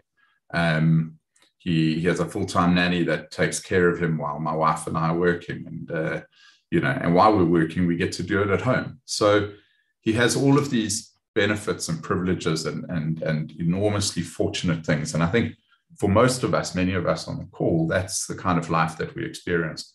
Uh, you know, we're in a similar situation. Anyway, I, I, tell you about Colin for two reasons. One is um, I want to personalize some of the discussions that we're having. Uh, we can often talk about these things in quite an academic way, uh, but there are real, real impacts here, and there are impacts on us, and it's important that we bring that home. Uh, this is not just something that is part of our job. And, and secondly, you know, we have this urgent and pressing need for a new social compact that's going to support, it's going to enable, and it's going to drive the just transition. And so I want to ask, we'll start with the question. I want to open with the question here. Uh, you can just chew on it while we talk, while I while I go over and, and chew on it over the weekend and think about it next time that you're sitting in a meeting planning a, a mine expansion or a community relocation or um, uh, you know a, share scheme payout uh, when you're planning how you're going to work with the clients on anything on any of their engagements just think about this question you know what society would I like to have been born into? We can't all be born into the into the world that uh, that Colin's been born into. Many of us are born into a place with uh, enormous loss and lack of privileges, of access. Uh, you know, it's not just wealth. We talk about whether you could be born with good or bad health, from a rich or a poor family, ill or well educated, uh, atheistic or religious grew up in a big city or in the countryside you know would you want to be born into a world where you have very few rights or where you have uh, complete rights you know there are many different questions about this and some of this comes back to a, a, um, a dialogue i had some years ago i was on a uh, I was at this conference and to start, their warmer was we sat down in pairs. It was a conference to talk about race and racism. And uh, we sat down in pairs and we had to tell each other why we were there. I'm very woke. I'm very connected. I know, you know, I'm very sensitive. I'm very socially conscious. And I said to the woman that I sat opposite, I said to her, I'm very aware of my privileged position and I want to know how I can change things. I'm very aware that there's this imbalance and this unfairness in the world, and I want to know what I can do to fix that. And she said to me, and I'm going to tone down the language a little bit, but she said to me, Don't you dare. She said, It's got nothing to do with you. It's not your job. You come from the top of the totem pole. You sit, and all of us on this call sit somewhere close to the top of the totem pole. You know, maybe not all right at the top, but we're, we're all pretty close.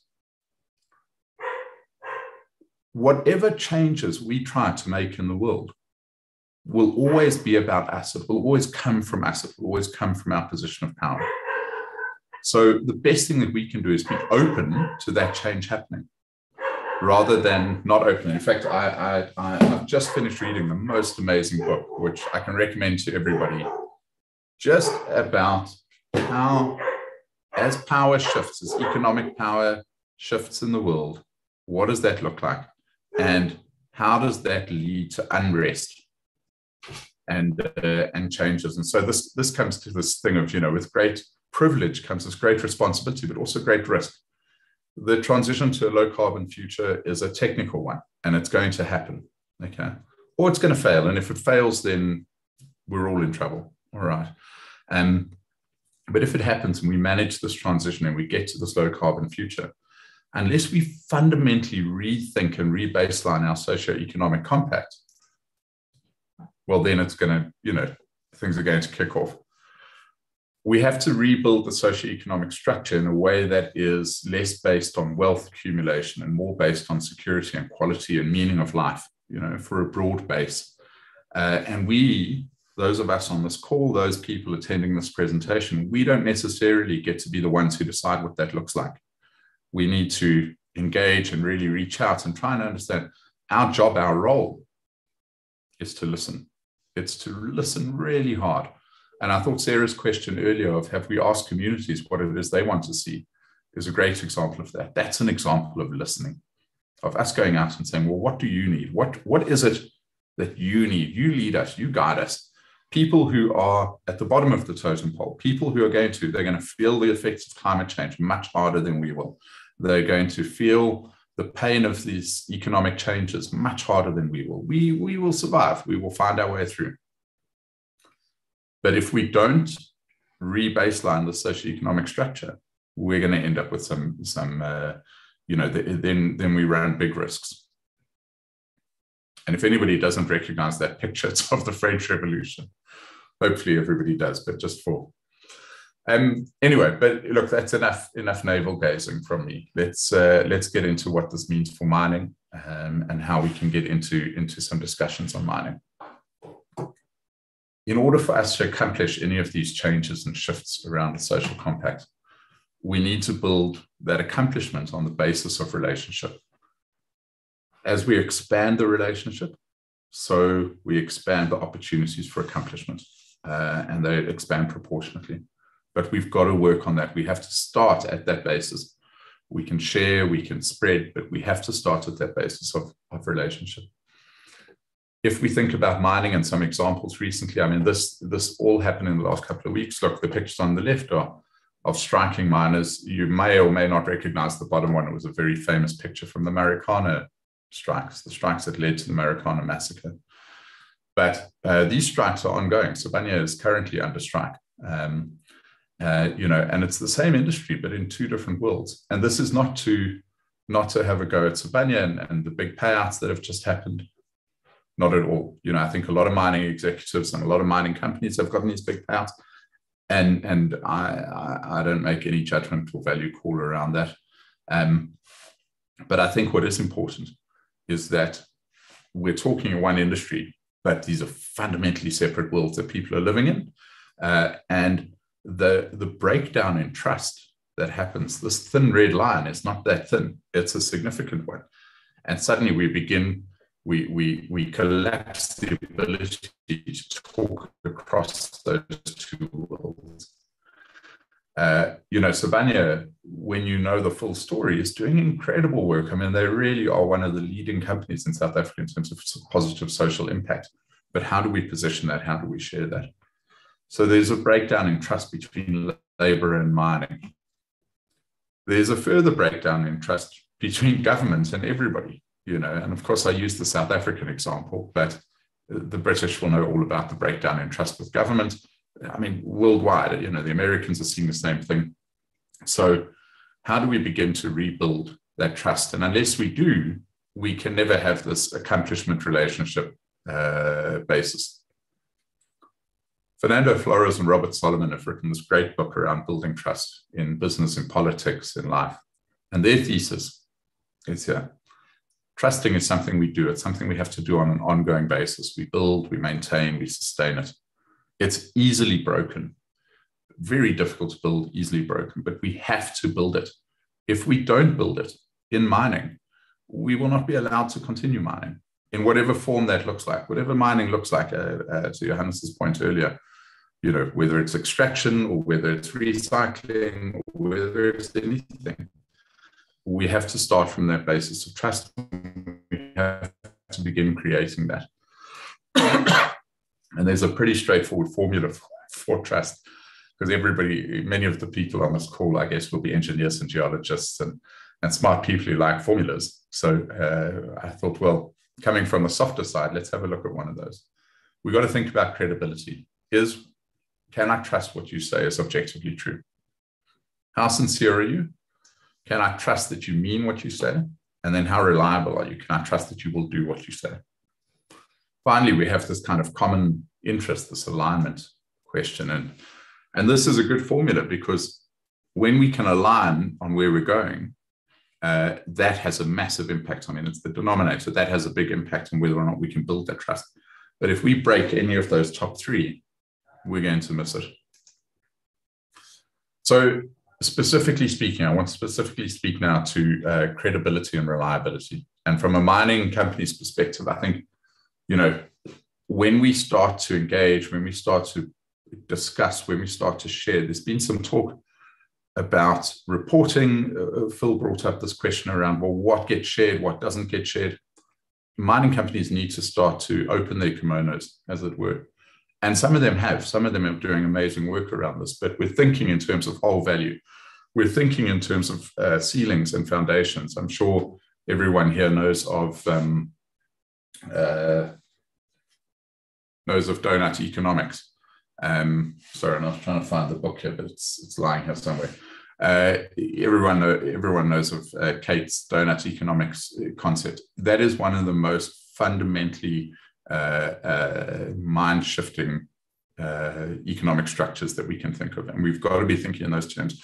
We have to think about whole value. We have to think about the fact that we can no longer consider companies to be doing well or poorly based on their financial performance. We have to look at their full performance, their total performance across all dimensions. And if we can do that, then we can begin to travel along this roadmap.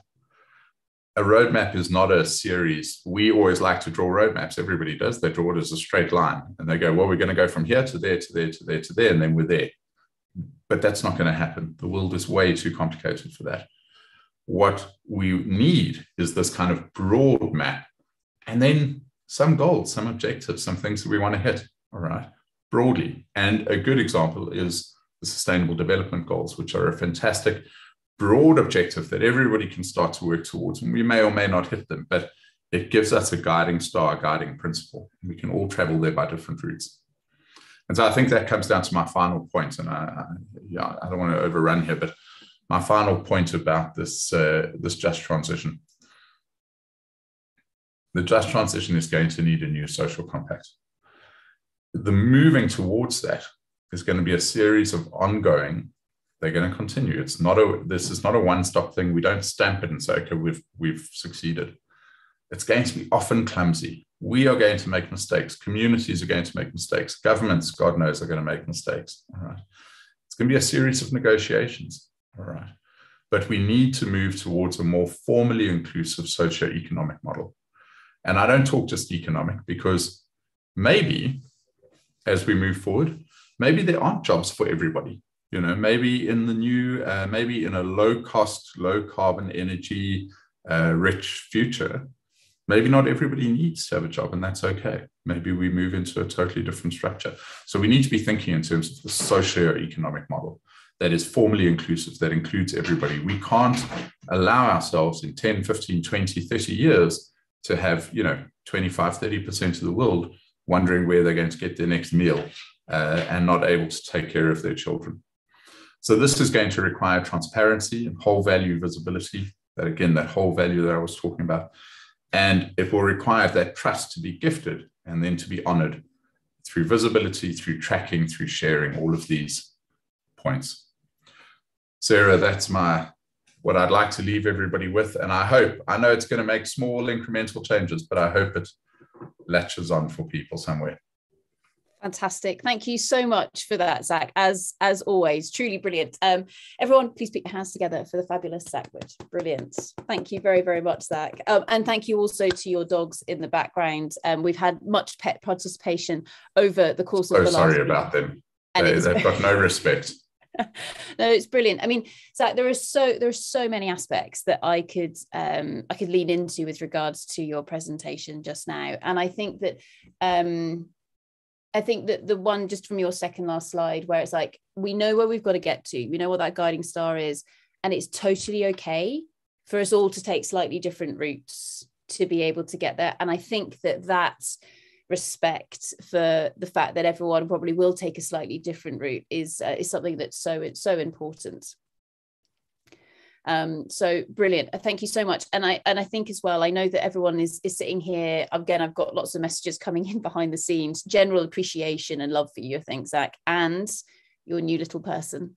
Um, and and what he has also brought to the party. So brilliant, Zach. Thank you so so much. Massive round of applause. Um, and yeah, thank you very much again. Brilliant. Cool. So, so this then takes us um, into into our next presentation, who's the fantastic Emma Schofield. Um, Emma, I think we're going to be sharing your slides from our end here. If uh, if you would like to, you've got your microphone on, it's all fabulous. I'm just going to relinquish the stage and let you introduce yourself to the masses, um, and then we will share your slides for you. So everybody, please put your hands together for the fantastic Dr. Emma Schofield from Johnson Matthey. Thank you very much. Well, I have to start by thanking you, Sarah, for inviting me to talk about platinum group metals, which are very much part of the discussion on the just transition and, of course, a topic very close to my heart. So, uh, next slide, please, Rose. I introduced myself earlier as the Platinum Group Metal Research Fellow working for Johnson Matthey. I'm hoping you've heard of us. Um, we're not a miner, but we are the largest secondary refiner globally for platinum group metals. So we make products containing things that appear on critical uh, metals lists all over the world, which means, of course, that responsible sourcing and recycling our products sustainably are at the top of our priorities list. Next slide. So my focus is the platinum group metals, which are platinum, palladium, rhodium, iridium, and ruthenium. And they're going to be represented by their chemical symbols because I don't generally have enough space to write them out in full. So I hope you're listening to that list. But one reason they score so highly in the criticality assessments is their economic importance. They're expensive, particularly compared with things like cobalt um, for the base metals or battery metals, as they now get called, and um, neodymium or dysprosium for magnets. And they have applications across a range of essential technologies catalytic converters, process catalysts for making um, things like ammonia for fertilizer, printed circuits in electronics, and fuel cells which create power without releasing harmful emissions or particulates. Um, the amounts that go into autocatalyst and um, for automolecule for platinum and palladium are actually off the scale. And um, if you just put them on the scale, then you wouldn't be able to see any of the other applications, which is why those are kind of shooting off the graph. Next slide, please. So the other aspect of criticality of PGMs is the supply risk.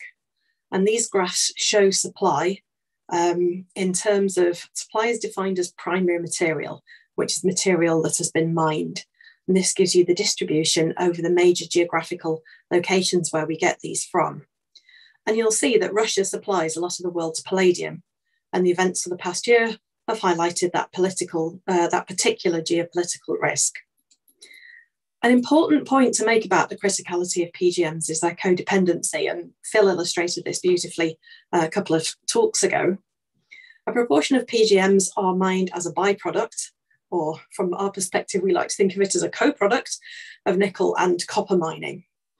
Even if you mine for platinum specifically, you get the other PGMs at the same time and also gold as co-products. And we talk about them in terms of baskets, where the basket price is the value of the collection of PGMs and gold that have been extracted together. And while there are some North American mines where palladium is the primary product, all the other palladium and 100% of the rhodium, ruthenium, and iridium mined globally is mined as a co product. Next slide, please. This slide compares the amount of PGM, platinum group metal, which was available from primary refining and what's recycled. As you can see, the amount of PGM recycled each year is about a third of demand. I mean, this is, this is absolutely critical. Some manufacturers will be able to use recycled metal in their products, and it has a good impact on life cycle assessments. It gives them um, an appearance of corporate responsibility, and that's, of course, to be encouraged. But the rest of the people who also need the, the PGM in the um, mined um, dug out of the ground sources will not be able to get recycled material. So, looking at it from the perspective of the global um, customer source, we have to think about what where all of the metal is going and not just uh, focus on the recycled part of it. Um, I should mention a note of caution about these data. This is not the entirety of the platinum group metal. So the numbers under recycled are only the open loop part of the picture and not the closed loop part of the cycle. So um, in the next slide, in, ah, have I skipped one? Right, let's go to open and closed loop recycling. Um, For closed loop, we sell, for example, a catalyst to the customer, and they own this huge amount of metal. And at the end of its life, the catalyst is returned to us, but still um, the metal is still owned by the customer. We refine it, and an equivalent amount of metal is returned either as fresh catalyst or it's credited to the customer in a metal account. But because the net supply of metal in use hasn't changed, it isn't recorded in the recycling figures. It doesn't count as market supply. The owner is sitting on a significant investment of metal and therefore keeps very good track of where it is and what we're doing with it when they send it to us. In open loop recycling, however, bottom part of the slide, the metal sold into the market and wanders off with no one keeping track of where it's gone. So um, iridium spark plugs are not economic to recycle, so nobody bothers to collect them. And all that iridium in very, very tiny quantities dissipates into waste. In fact, recycling of open loop metal is only really done for autocatalyst jewellery and electronics, which is mostly platinum, palladium, and rhodium. And there's almost no, very little open loop recycling for ruthenium and iridium, despite their importance um, in a number of uh, technology applications. Next slide. ESG is at the heart of the just transition. And for PGMs, it's about responsible sourcing, trading, processing, and movement of metal within our own operations, but also those of our suppliers, customers, and partners. So, this is a condensation. All the points will be familiar um, of the key points of JM's supplier conduct code. I have to say that the full document is considerably longer than what I've put up on here. Next slide. So to consolidate standards of due diligence in the industry, the LPPM, the London Platinum and Palladium Market, have set out responsible platinum and palladium guidance, RPPG, if anyone's into acronyms, for refiners and for sponge accreditation. Now, I put a picture of some platinum sponge in here for anyone who doesn't know that it's a pure metallic powder that only looks spongy at a magnification of greater than 20 microns. Anyway, to be accredited as a good delivery refiner and or a member of the sponge accreditation lists, refiners generate their own compliance reports, which get audited through independent third parties on an annual schedule. And the details of what level of detail um, is in the slides. This accreditation system is very thorough, it's very intensive, and I'm going to open possibly um, the can of worms, which you may have touched on earlier in the week, um, to think about whether distributed ledger technology, this ongoing discussion, is a way to approach. Now, there are two areas here there's what goes on within the refinery, and there's what goes on as the material moves from one place to another along a supply chain. Next slide, please.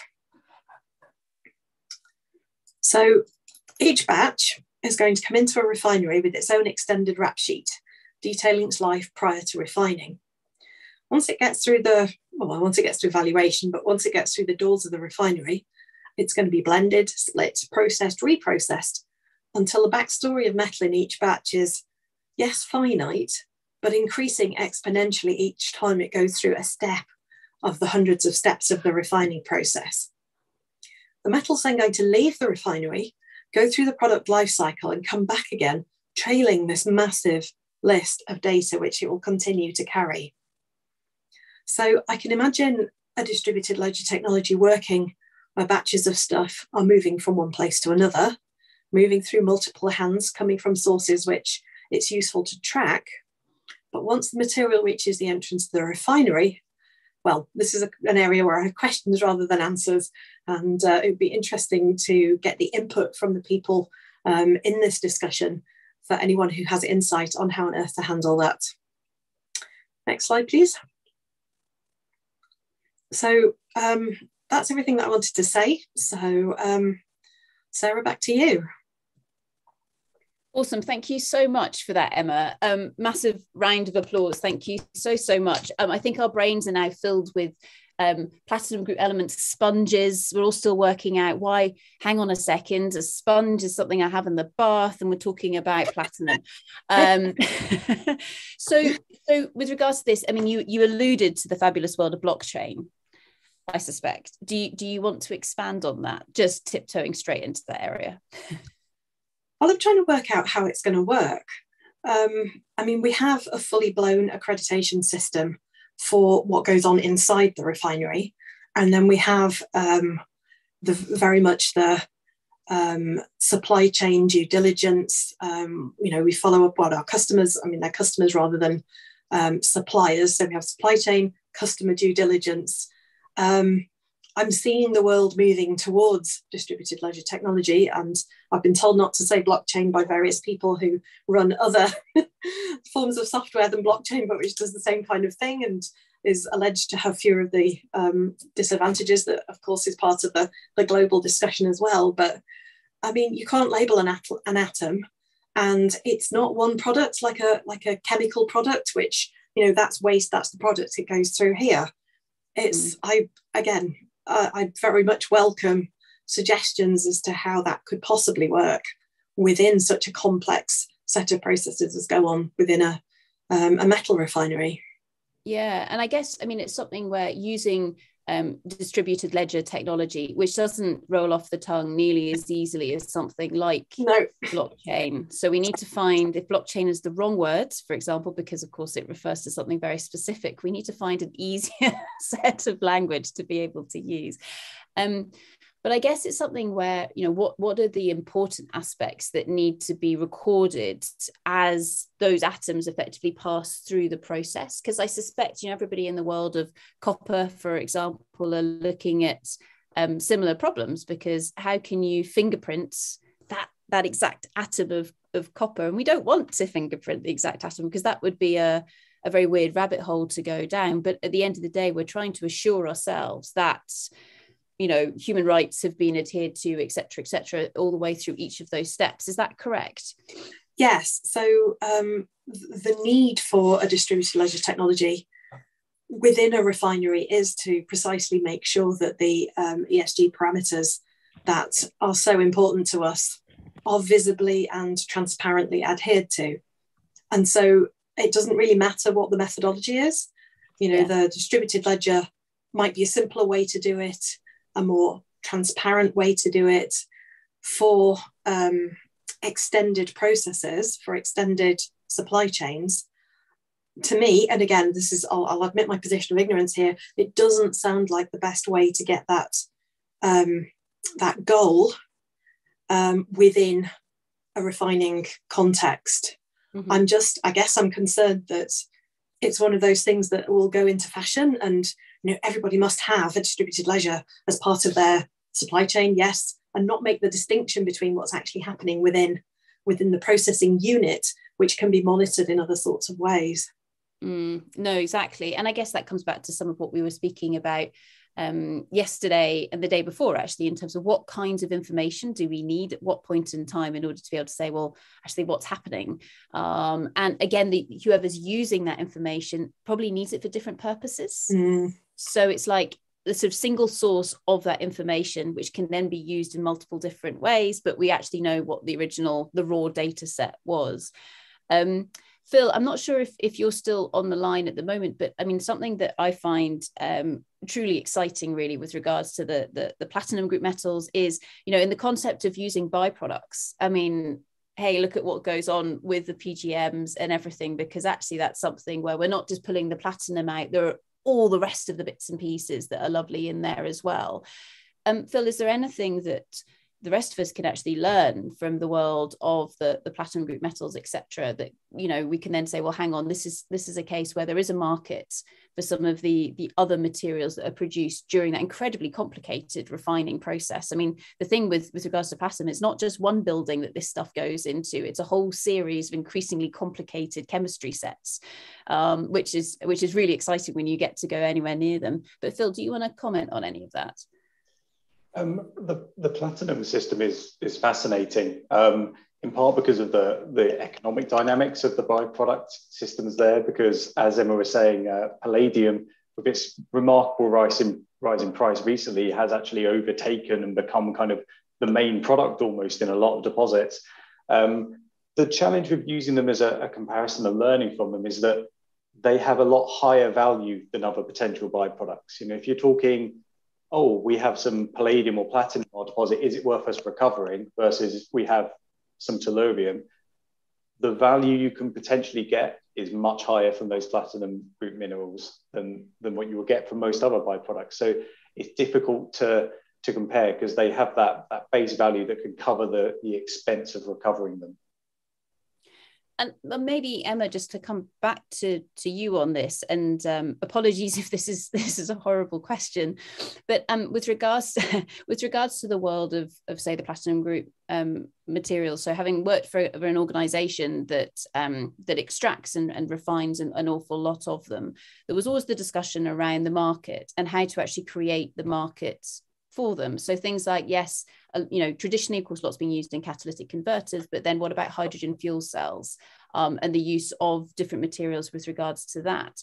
Um, how much do you think has actually been, so we know that we've got these materials, so can we create the market for them? So you've got that kind of push into a market space versus, well, no, hang on a second, we're designing hydrogen fuel cells or whatever. Can we use substitution elements and materials with regards to that because there's always that balancing act in terms of the cost of a material versus how do we actually design something? And of course at the end of the day it's not like we can just go outside and scrape some dirt off the ground and say hey we're going to make a battery out of this. It's far far far more complicated than that. I don't know if you've got any comments with regards to that. So one of the constant themes in um, platinum metal product platinum metal product research is can we substitute the metals out of it? so, I mean, people would like to think that, you know, if you've got palladium in there, you could put nickel in instead. Um, yeah. Like hitch there is that often you have to put, you know, 20 times the amount of nickel as the amount of palladium you've got. And so it doesn't actually solve the problem. I mean, without sounding partial, the reason the platinum group metals are used so much in spite of their prices is that they just do things that other things can't do.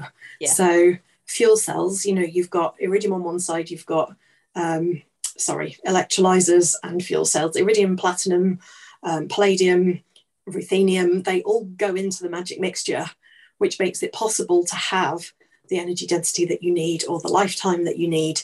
And of course, people want to substitute that. You know, we want to substitute that because we want every little atom of platinum to be doing the maximum amount of work in as many fuel cells as possible going on into the energy transition but you know, and and clever people have worked on this for since the discovery of platinum 200 years ago. You know, um, so you you can substitute up to a point. Mm-hmm. Um, in some ways, the point, and this isn't going to be popular with anybody, but um, the point that Phil was making. Um, no, I've lost it. It was just on the tip of my tongue. Sorry, it'll come back. um, yeah, the the refining pays for itself if you are doing, you know, platinum group metals because they're so expensive. The problem is, the more you thrift, the more complexity you add with lots of different metals, the more difficult it becomes to recycle, the more you erode those margins. So, I mean, the counter argument is put loads of platinum group metal in there, have it costing an absolute fortune, but make it easy to recycle. And so we get it back really, really quickly. But that is not a trend which I've managed to get anybody to actually buy into um, across the world. But I still keep hammering this design for recycle. Please think about it if you want to, you know, sprinkle pixie dust in there, that we've got to get pixie dust back out again afterwards. Yeah, and I think this is so. So Karen Hanghøj, who joined us on on Wednesday morning, she was talking about just think about making a cup of coffee and adding in that milk. And actually, what you're trying to do is to take the the milk and the coffee granules and the water and actually separate them out at the end of the process. So, Emma, last question, and um, perhaps if I may, with regards to the actual design process. And so we say, right, okay, I'm going to make a fuel cell. Okay, so this is me being very, very naive with regards to all of this. Um, what are the driving factors with regards to that? Is it cost to the to the end user in terms of okay so how much or how do we actually how much do we sell it for and trying to keep that cost down because otherwise we don't think that anyone's going to want to buy it is it ability to recycle that fuel cell at the end of the day knowing that actually we want the i guess the kind of the core component parts to be able to be slotted in and slotted out so the bits that are going to wear out faster we can actually replace all of them Is it we're going to build this fuel cell using the most responsible raw materials as possible? So the materials that we know can be extracted and the initial processing done in a way that poses the least amount of threat to the environment and i'm sure that there are a number of other factors in there as well what what are the kind of the driving factors that say okay this is actually how we're going to make this fuel cell so from a, um, a very simple perspective um, cost and performance yeah how much does it cost to make and how well does it do its job um, more and more sustainability is coming into it. Are we using toxic materials? You know, does the processing produce waste? So everybody's now looking at their life cycle of their products, such as fuel cells, and saying, okay, which areas do we need to address to make to decrease the environmental impact? Because investors are starting to ask those questions. We need to be able to answer them. We need to be able to answer them anyway, irrespective of that. Now we've got the tools to be able to look at these things. We can actually start incorporating life cycle assessment into early stage research, into product development, and say, look, um, you know, we have this choice of options. You've got so many choices at the beginning. We can evaluate what the impacts are of our various different options in terms of the product life cycle. Um, but the whole, you know, is it recyclable? How complex is it? I don't think that discussion is happening as much as certainly I would like to see from the perspective of the refiner. So um, certainly internally, we can talk to people and and say, you know, and guide their choice of elements, guide their um, choice of um, yeah product components to make them more recyclable. But um, one of the things which I kind of slid into my last slide, which we didn't really put up very much, was changing people's attitudes, changing the public's attitudes to what they want out of their products. So we want people to ask the question you know, not only does it perform well, not only is it cheap, but is it recyclable? How easy it is to recycle? Can I please see that data? Is, you know, is there a, a stamp which says we can take this apart um, robotically, for example, or without people sitting disassembling mobile phones by hand and putting various different bits of waste and so on. So I think that's a, a social direction I, for one, would very much like to see in the future. Brilliant. Well, so with that, thank you so, so much, Emma, for coming and joining us here today and opening our world to the fact that there are more to sponges than we initially thought. um, but brilliant. No, thank you so, so much. And thank you also to Johnson Matthey for allowing you to show us your slides um, with, with um, their affiliation with regards to that as well. So absolutely brilliant. Thank you very much, Emma. Thank you. Brilliant. Fantastic. So that then takes us into our final talk that we have of this morning before you get to hear from Ludovine, Rose, and myself, attempt to try and summarize um, some of the, the amazing content we've had from the 78 speakers who have already spoken to us here today. And that is not including the fabulous Julie, who is about to come to the stage. Um, as you'll have noticed this morning, we've kind of been hopping around a little bit with regards to, okay, so one moment we're talking about you know kind of deep social factors. The next minute we're talking about byproducts and then the next moment we're talking about um, society as a whole and then we're talking about platinum group metals and then we're talking about europe.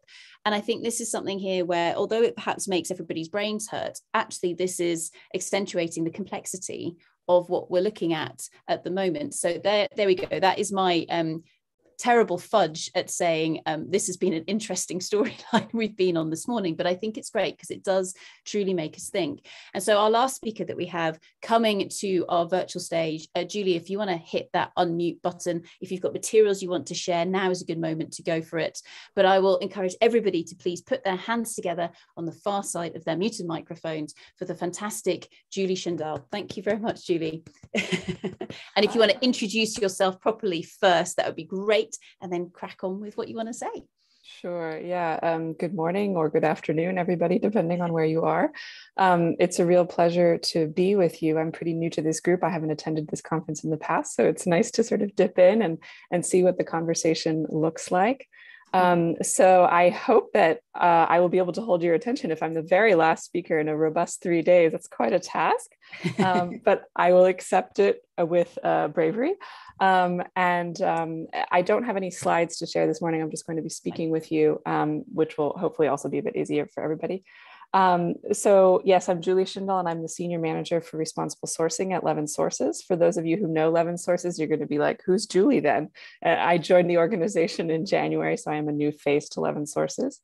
Um, I am here in Berlin, Germany, and my background for about the last 10 years has been really squarely in the space of how do companies source materials for their products with respect for human rights and the environment. But specifically, I am a human rights specialist. Um, prior to um, working at Levin Sources, I was a senior advisor at Shift, which is a leading organization on business and human rights, and uh, also at the Responsible Business Alliance um, back when they first created their secretariat a long time ago now. Um, and uh, before that, I had other careers in humanitarian assistance and journalism. So um, I've had a bit of a winding road, but always really the focus, I would say, squarely on human rights, which is also my academic background. So um, I guess uh, over the years, I've managed to gather quite a lot of, uh, uh, rather a lot of sense of how do companies do business with respect for human rights, including in the minerals and metals sectors. Um, because I've been in a position, in particular through industry association and also through advisory services, to see the practices of a lot of companies, as well as governments, civil society, trade unions, other stakeholders. It's a very interesting lens to have. Um, and over the years, I've collected sort of quite a lot of impressions about where things are going, what practices actually make a difference in terms of improved outcomes for people and communities on the ground, whether in production countries in minerals and metals, through the entire value chain, through to end of life, as we were just talking about here in terms of recycling. Um, and I guess this morning, as I shared previously with Sarah and Rose, I was uh, going to allow myself to share a little bit of a story arc of some of the impressions I've had over those years, not least because I've just returned to a rather focused minerals and metals space after having spent the last five years or so uh, working on human rights due diligence across numerous industries. And um, I have rather, I, am rather um, struck by some of my impressions thus far that I thought might be in also interesting to share with others and, and some of my thoughts about um, what actually makes a difference um, for people involved, uh, whether at the mining level, whether at the smelter and refining level, transport, recycling, um, manufacturing, you name it, in the minerals and metals supply chains. Um, so I'll just share with you some of my remarks now um, and certainly welcome questions from all participants. Um, so obviously we're all aware that, you know, minerals and metals are at the heart of the just transition. And, you know, it's been certainly interesting to see this new name um, critical minerals here in Germany, obviously, um, it is now seen as a matter of national security and energy independence to make use of uh, green energy technologies, not least because of current conflict uh, in Ukraine. Um, in addition to their obvious necessity to enable that transition to a greener and more just future. Um, and so, in terms of um, my own story, um, when I started working in responsible sourcing. Back then, we usually called it corporate social responsibility. There's all these names for these things. Um, it really felt like for many, many companies, the focus on responsible supply chains or responsible sourcing was just getting information. So let's find out who our suppliers are, you know, beyond tier one. That was big. Um, let's do a unified supplier questionnaire. Let's do a database to store that information in like a centralized, standardized format and let's do audits to verify what is in the questionnaires. Um, back then, um, you know, I used to give media interviews and I had to be fairly convinced of what I was saying. I felt it did make sense because step one in responsible sourcing, and this, I, this is absolutely still true, is knowing where you're sourcing from. This came up in the discussion about I'll say blockchain. I, so, um, and, and what kinds of impacts could be occurring to people and planet along the way? That's absolutely step one of being a responsible company, just knowing right? What's in my product? How did it get here? Um, so when I returned into that focused metals and minerals space uh, in January of this year by joining Levin Sources, um, I was curious where the sector was. And if I could be honest, I was kind of shocked uh, that so much of the focus still seemed to be on exactly the same actions as what I had seen when I first came in to the entire responsible business world, which was the real focus on, okay, let's do the supplier questionnaire, let's do the audit. You know, there's a real proliferation of industry standards and certification schemes, which are then audited against. Um, and obviously in this space, some regulation that is relevant for companies as well. Um, but I didn't still understand how all of these policies and processes actually improve outcomes for people or planet on the ground. How companies coming in seeking to align to a certain standard um, ensure that their actions on the ground are actually framed around the needs of local people and really their fundamental rights, which are framed in human rights language. I didn't see that connection between the actions companies were taking even now and improved outcomes for people. So we know that the mining sector has one of the longest track records in terms of considering impacts on communities related to its activities. Um, it's also one of the more regulated sectors subject to very specific requirements related to community impacts. Um, and to this day, just about a month ago, as reported by the Business and Human Rights Resource Center, uh, Center the mining sector is consistently the most dangerous sector for community members who stand up for their rights. These are human rights and environmental defenders. This a track record for seven years as tracked by the Human Rights Resource Center, but uh, it probably goes beyond that. Um, and to be frank, as I'm sure all of you do also find, I, I, find this a troubling track record after decades of efforts. And I have personally known many, many people from business, from civil society, from government who have given tremendous efforts and investment to make the metals and minerals supply chain, including those critical minerals, more responsible, more rights respected. So obviously the question is, you know, if, if I'm questioning some of the um, actions that I think continue to be taken by companies in terms of responsible sourcing of minerals and metals, what's better then, right? What, what's what's my alternative? I, I can't just complain. I have to offer a solution. That's always how I've been trained, including when I did advocacy at Oxfam. Um, as one green energy technology company recently asked us at Levin Sources, okay, fine. If, if we're not going to be reliant on audits as the entirety of our due diligence system to demonstrate responsible sourcing, what's the alternative? What are the other tools in the toolbox? And, you know, I had to really smile with sort of relief when I got this question. I was very happy with that. You know, it's been over 10 years, as we all know, since the UN guiding principles on business and human rights really set the global bar on what it means to do business responsibly with respect for human rights. The UNGP set out that very clear pathway for companies by articulating something that companies already do, and that is due diligence. And after a decade of efforts uh, to implement the UN guiding principles and also the relief they provide in terms of standards alignment, rather than sort of playing standard soup and new standards popping up, we know what that bar is. We can drive to it. Um, and it's aligned with OECD uh, guidelines for multinational enterprises. We also now have leading practices that demonstrate what is the appropriate role for verification tools like audits. You know, yes, we're not giving up on them, but they have a specific role and more importantly you know what's the big picture about what companies can do to take steps to ensure that their products and services are made responsibly and again not just enforcing an outside standard on local people who maybe think that doesn't make sense for me but really working with local people to make that product and service responsibly i'll get on to more on that in a minute i'm thinking back to what i heard zach share with us you know, I could go through a list of practices we've seen work, especially deep in the supply chain where you feel maybe as a company more downstream, well, I have no leverage, you do. but I really want to focus on one critical linchpin to it all that I've observed over the years as an absolute kind of make or break factor. And that's, I can encapsulate that in one word, and that word is engagement. So this word gets bandied around a lot. what does it even mean? Um, when it comes to responsible sourcing, engagement means a conversation, a dialogue. In terms of stakeholder engagement, it means an invitation to discuss not just the presence of a policy or process on paper, but how it is implemented and challenges suppliers are facing to implement it, how they think about that stuff on paper, and what is its connection to real performance, which is performance in this instance is actually improved outcomes for people and planet, not the existence of something on paper and many companies say, um, fine, I mean, logically, I follow you, but I cannot carry out a conversation with my 3,000, 5,000, 10,000 suppliers. That's the case for some of the very big downstream companies. And no, of course, of course, that's not possible alone. But here's the power of collaboration. And I know this topic has been addressed in the previous days.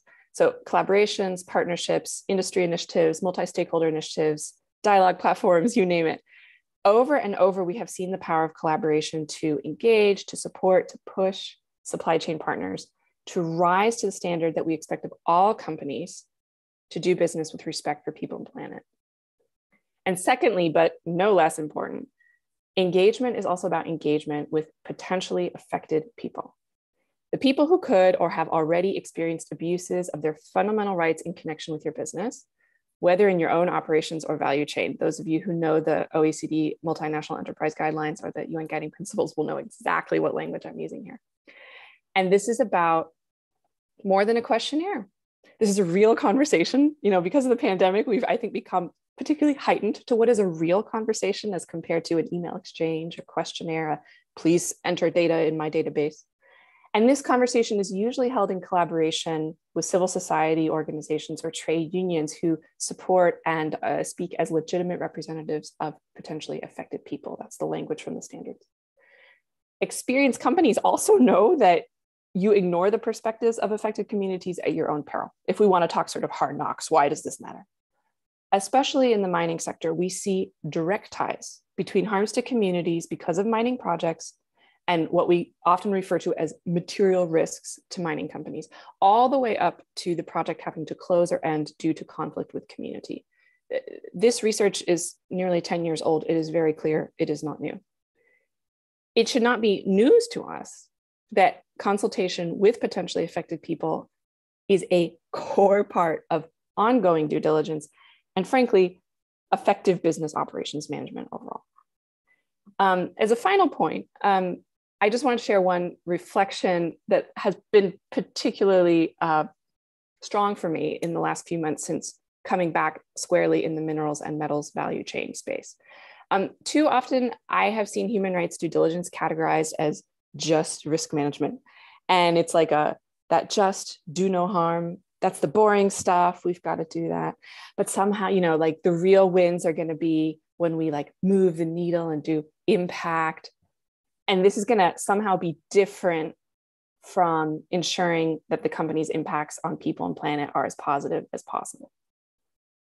So I'm not the first to say this, but given how much you know i've in the last just hour i've seen us reference something like for example the sustainable development goals i want to say this really clearly because i strongly believe it to be true the greatest single contribution companies will make to the betterment of human lives on our planet will be when the company's own footprint on people and the environment is a force for good no amount of philanthropy or bringing a useful product to market including a green energy uh, technology to market can erase the profound harm companies could do, do do, when they fail to respect the rights of workers, communities, and environments impacted by their activities.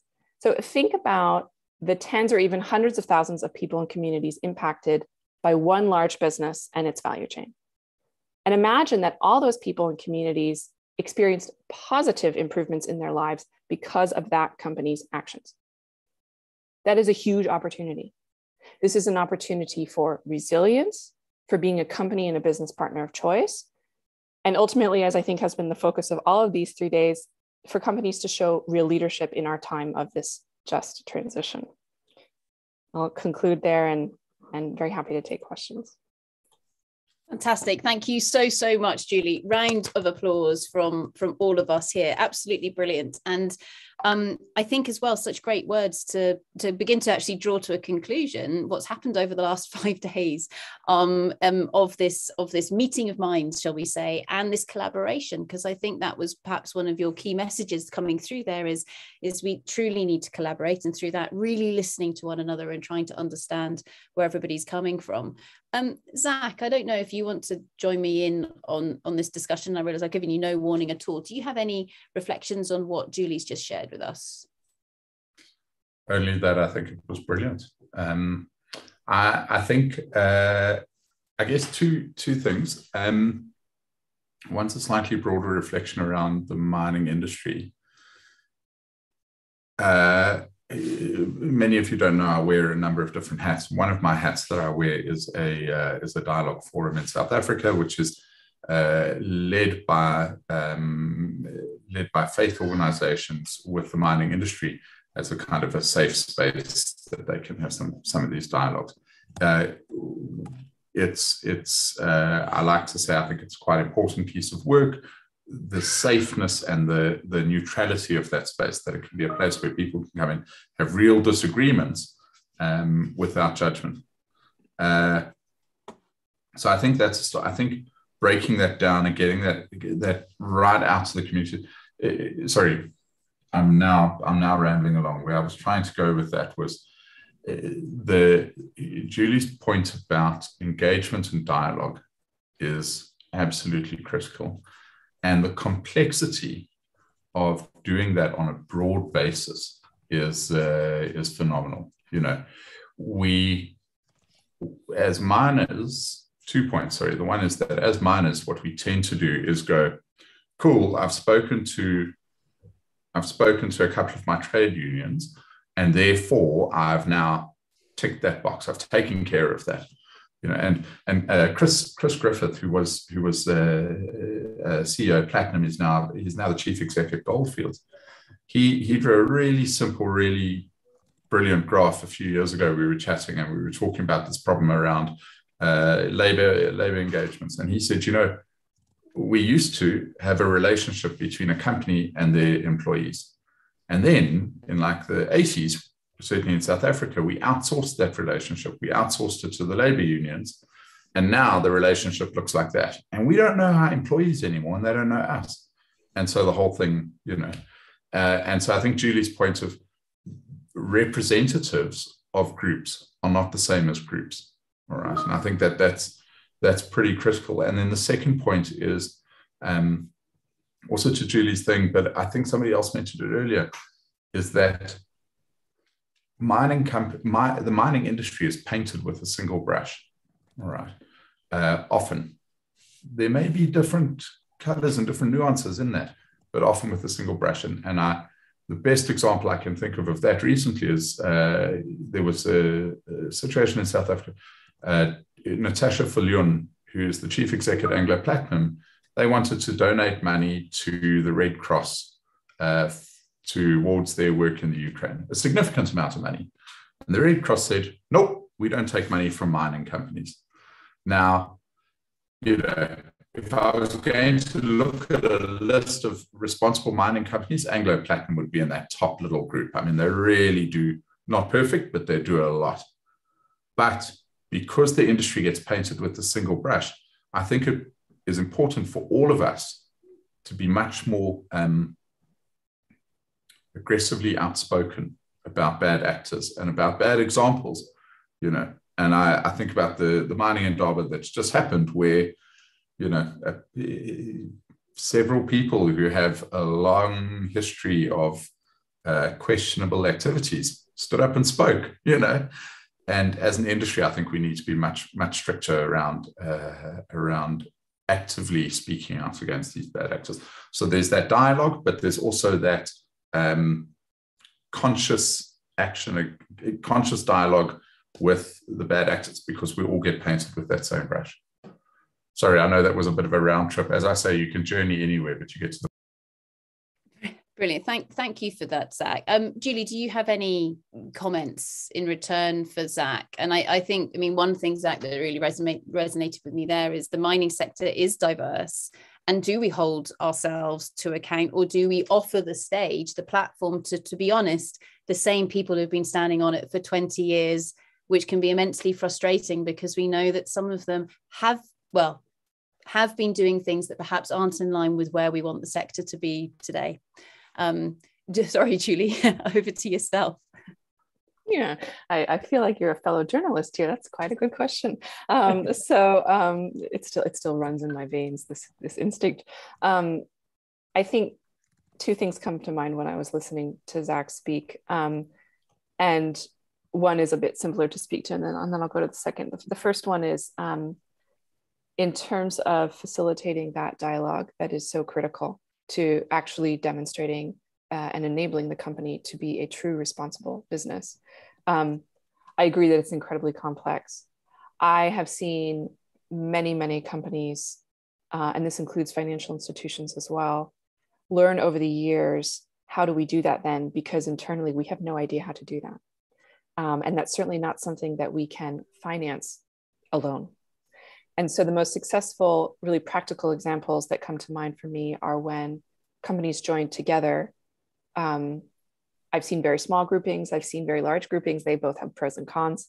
Um, and get connected with people who actually understand something called dialogue facilitation. Consensus building is also a really critical byword here. Um, and ensure that they have access to that expertise. I think companies sort of knee jerk, this maybe comes out of the era of maybe some more legacy approaches to sustainability reporting, for example, is they send out to a list of people they know a questionnaire to tell them what are the issues we should be concerned about. And I fully understand that this does not necessarily come from an evil place. I have seen beloved colleagues do this over the years, but that's not what the expectation is. And that's not what is going to enable the company to have the perspectives of affected people that it needs to have. Um, so that's just a thought on that front in response to something that that Zach raised. Um, I guess my answer is yes, dialogue is complex, but it is possible, and we have a track record of doing it well. Um, so in certain instances, in terms of um, you, the second part of your question, you know, who gets up on that stage? Do we give ourselves a pass and sort of pat ourselves on the back when we shouldn't be? Um, you know, what comes to mind when I hear that question is for me, again, really the tremendous assistance that we can find in the standards set by the UN guiding principles. Because finally, after so many years of just sort of a whack-a-mole game of standards created by I don't know who. I, I, don't mean to delegitimize anybody who set a standard, but admittedly, it's a lot of bodies who sort of appointed themselves to, to write a standard um, with differing degrees of quality, I think we can all say, we have a really, really robust standard about what it means to be able to credibly say, we're doing okay in our efforts to be a responsible company. And that we would actually also begin to say, okay, fine, what, what does your performance look like? Right? Because for years, the performance indicator was the presence of an audit. How many CAPs did you close? I cannot tell you the number of CAP reports that I read that I could not credibly connect to outcomes for workers or communities. It was just procedural, but it didn't actually connect to then working conditions or you know water access for communities who are adjacent to mining activities that are extremely water intensive and lower the water table. So that I think is very helpful in terms of to me, having a very clear standard, fine, if we want to put somebody on a platform and say they're demonstrating some leading practice and we'd like to learn from that, or they had a huge problem, but they're starting to learn how they can improve on that situation, which is probably more the reality, that we would actually be able to have one shared view about, well, where are we trying to get to and what actually works? For me, that brings a tremendous clarity to have that rather than sort of every conference there's as you know emma rightly said kind of a sexy new approach that relates to responsible sourcing that we all of a sudden feel the need we need to spend a whole conference on i think we have learned over the years that that doesn't necessarily lead to improved outcomes for people or the environment and that's what this is all about Brilliant. Thank you so much for that, Emma. Um, you've got Ludovine applauding away behind the, behind the scenes. Absolutely fantastic. And and yeah, and I think that this is a case here of um, in terms of people talking, in terms of people doing audits, ticking boxes, etc. Who cares if somebody has a policy or a procedure? Is what are you actually doing on the ground? Where is that impact? Where is that action? Where is that change that's happening there? Um, and and that's the, the the real focus point. So everyone, if I can invite you to please put your hands together for the fabulous Julie Schindel. Thank you very much, Julie. Brilliant, fantastic. So that then takes us into the final session um, of not just today, but the full conference really. And what Ludovine and myself, with the help of Rose, of course, are going to try and do is try to summarize some of what we have heard over the course of the last week and then begin to sort of taking Julie's advice here, say, okay, well, so what?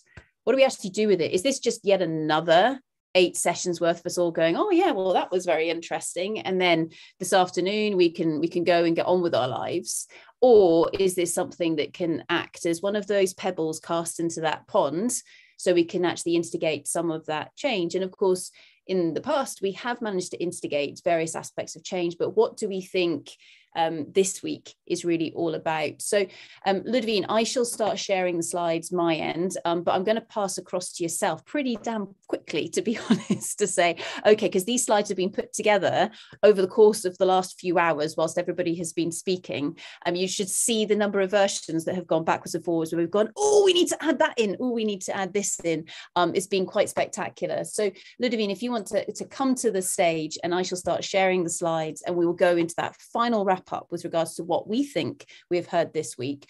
When we get to the end of this, all of our lovely speakers from this morning, um, if you are happy to stick around, we would love to get your critique on what we're saying. Did we get it right? Did we miss something? Do you think that any of what we're saying will actually make a difference? Or is it just another arm wavy nothingness that isn't really going to help anyone at all? And be harsh with us because we need this critical feedback. So, going to the slides, um, Ludovine, over to your lovely self. Thank you very much, Sarah. Um, for those of you who actually went full circle with us, you will recognize my uh, very colorful slides from the very beginning, um, because we, we did start by mapping where we've been these last uh, two years. This is the third iteration of the conference. In the meantime, there's been actions, but we are also right now in the process of really structuring the next steps for this movement to turn into an initiative and hopefully a real change agent on a on a you know on a wide uh, significant scale um, could you skip ahead please sarah? Thanks. This this very busy slide is really a view of where we started okay? We, we started with this um, recognition of the stakes a clear call to action and the fact that mining is intrinsic to all of these aspects. I want i want to avoid using the word role because what's really come across throughout this week is that this role is evolving it's also multidimensional um, and frankly it seems to be at the moment um, really taking on different shapes and different colors for every stakeholder looking into it. And I think rather than, you know, bemoaning that confusion, we should celebrate it because out of this enormous complexity arises a lot of opportunity. And at some point, solutions really emerge from chaos. So um, this is this is really the, the, the view that we started with, and skip ahead, please, to the next slide, Sarah. This is kind of where we positioned our mandate before all of these discussions. Um, as I said earlier, the, the, the, dit, the scope of responsible raw materials is very much hinging on that interlinkage between criticality and responsibility criticality is not an option to do what we want. Responsibility has to factor in the need to respond to the criticality stakes. So they have to be balanced, and better yet, they can improve each other along the way. And what I think you'll see in, in the next few slides is where we positioned our strength, which is the colossal diversity of the network and of the you know connections that have been created around responsible minerals uh, raw min- uh, materials sorry throughout these conferences. And the three pillars of action that we think are most relevant to this emerging organization. The first one is dialogue. The second one is sharing the knowledge and sharing the inputs um, that emerge from from this dialogue. And the next step very much in our view is devising an advocacy platform that is informed by our deep sector knowledge, but also very independent because we represent every company, every stakeholder, every input, every discipline. In a way, it gives us a colossal margin of, of freedom. Um, I think perhaps, um, Sarah, if you want to recap on where the week has taken us, one thing that I would say that is absolutely clear is that the common foundation of every single discussion we've had has been those those three parameters at the bottom the recognition of a climate emergency, um, the, the really the pervasive uh, value of the sustainability imperative and the ESG expectations in the recognition that ESG is fundamentally a tool to achieve these objectives. So I think that has come across every single one of our discussions. Brilliant. Thank you very much for that, Ludovine. So, so moving into okay, so what have we been hearing over the course of the week? And Ludovine, jump in here. These are some of the resounding words that we've had coming through. So earlier on in the week, we did we ran some word clouds, we ran all kinds of collaborative tools, which were brilliant. Um, in terms of what does this look like you can see everything would just get on with it. We we know what we need to do. We know that we're going to make mistakes but we need to instigate instigate this action. Um, what about the business model? And there's been a resounding theme of that coming through today. So so how do we actually do this thing called mining? And to be honest what on earth do we mean by mining in the first place? Most people don't understand what it even is. Um, to ensure that this actually happens things like we need that systems change we need the change in the mechanics etc we also need to understand who are all of the different people involved with this and what what truly is that shared value what does value mean to those different individuals what do they actually want to get out of this and speaking to to, to julie's uh, final words there how do you make sure that this really is a force for good rather than somebody being even perceived to be taking advantage of somebody else so how do we deal with that bearing in mind that this is an incredibly complex situation and it involves en masse economic systems, etc., etc. So how do we make this happen? It is so easy. It would be so easy for us to go, oh, you know, it's all just too difficult. I'm going to go back to, to, to my life now and actually deal with what I can control rather than saying, well, which bits of this particular beast do I start nibbling away at? And not just looking at the threats that we can stop happening or that we can try and, and correct, but actually looking for the upside as well. All too often, I think, to organizations, especially when they're doing audits, for example, people are looking at that environment, social governance, and they're looking at the threats that hang off them and say, okay, have we managed to control all of those threats? Instead of also looking at the upside to say, hey, you know what? If we did this properly, there's huge opportunity out there to actually build something that is so much more exciting and better for everybody involved. So, actually, rather than just saying, here's my level of compliance, let's just try and maintain that, then big tick in the box, actually taking a step back and going, well, let's reimagine that. What does this look like? So, with regards to all of this, we've seen huge amounts of connection between everybody over the last week. Okay, so we've had 64 talks and panel sessions. We've heard from 79 speakers. With regards to the diversity of those speakers, we've had people speak to us, and I will miss some of the countries out here, so my sincere apologies. We've had people speak to us from the Philippines, Australia, um, different parts of Asia, um, the Democratic Republic of Congo, Ethiopia, Cote d'Ivoire, South Africa, all over Europe, which includes Ukraine as well. Um, obviously, the UK, Ireland, across into Canada, the USA, and different parts of Latin America, including a number of um, very senior, influential individuals from Peru yesterday. So, this is something where we have intentionally tried to hear from as many different geographies around the world um, amongst our speakers, we are more or less evenly split with regards to those who identify predominantly more on the female versus male side of things. So, of course, from a, a gender perspective, we've attempted to bring in diversity there. And then, as previously mentioned, we've also heard from people who um, really like mining.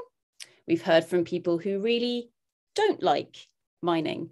We've heard from people who use the products that are produced by the mining sector. We've heard from people who write the regulations that perhaps change how we do some of the things. We've, we've heard from people who fund different activities within the sector um, and a whole host of other individuals as well. It's been um, a really lovely journey, I think, with regards to hearing all of these different perspectives and also in each session as well, welcoming those perspectives into the room and say, I respect you for what you're saying. I don't necessarily agree with it, but I want to learn because I'm happy for my perspective to change because I want to make sure that this is settled in my own mind.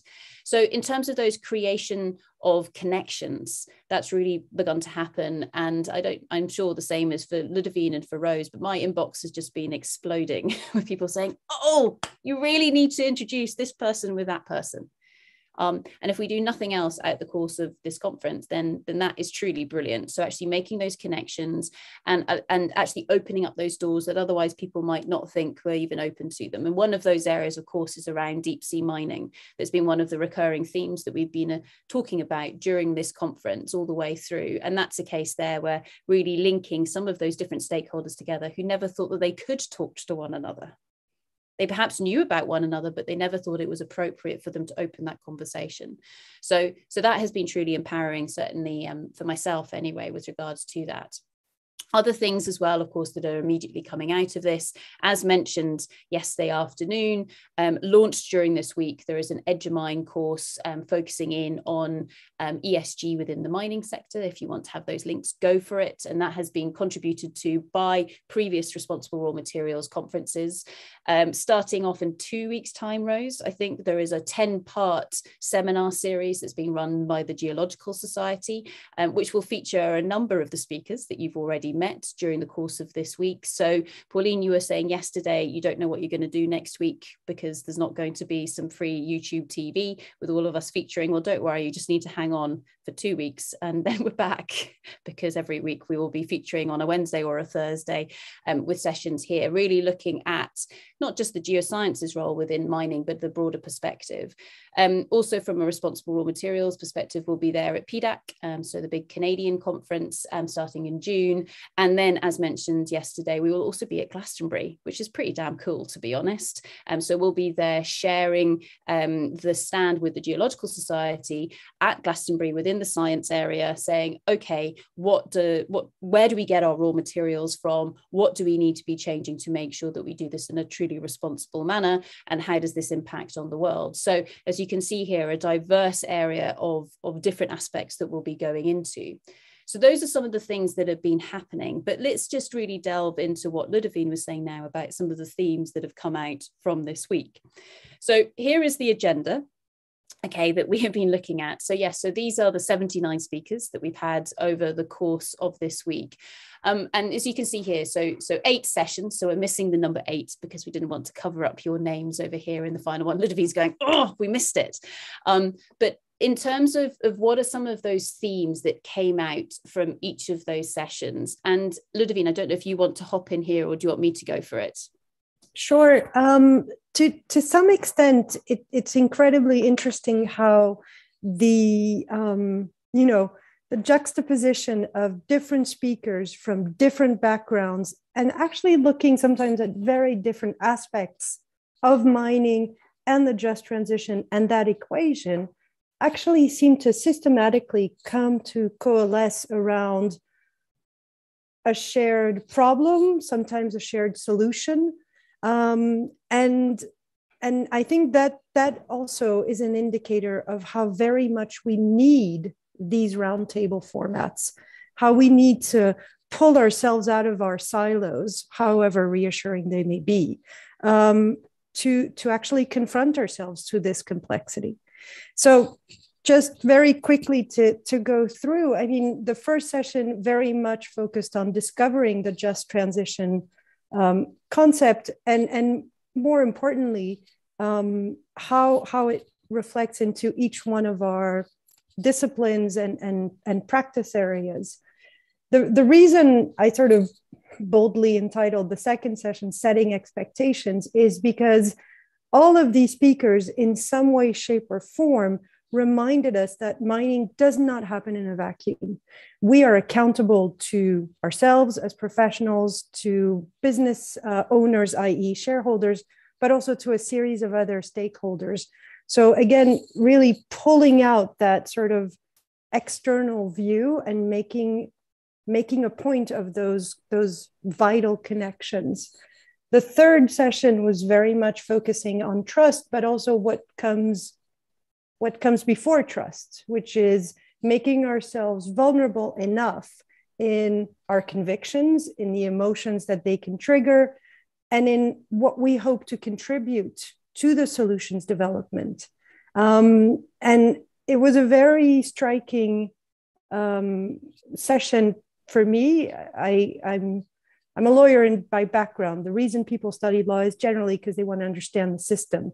And seeing so many speakers say, we can, we can put the system on the table, break it open, and start again if we do it from a position of trust is something that's incredibly empowering for many of the people who feel threatened by this change. So I thought that was a very important aspect. Um, Sarah, I don't know if you want to look at some of the other ones because we're viewing yes. more into your territory there.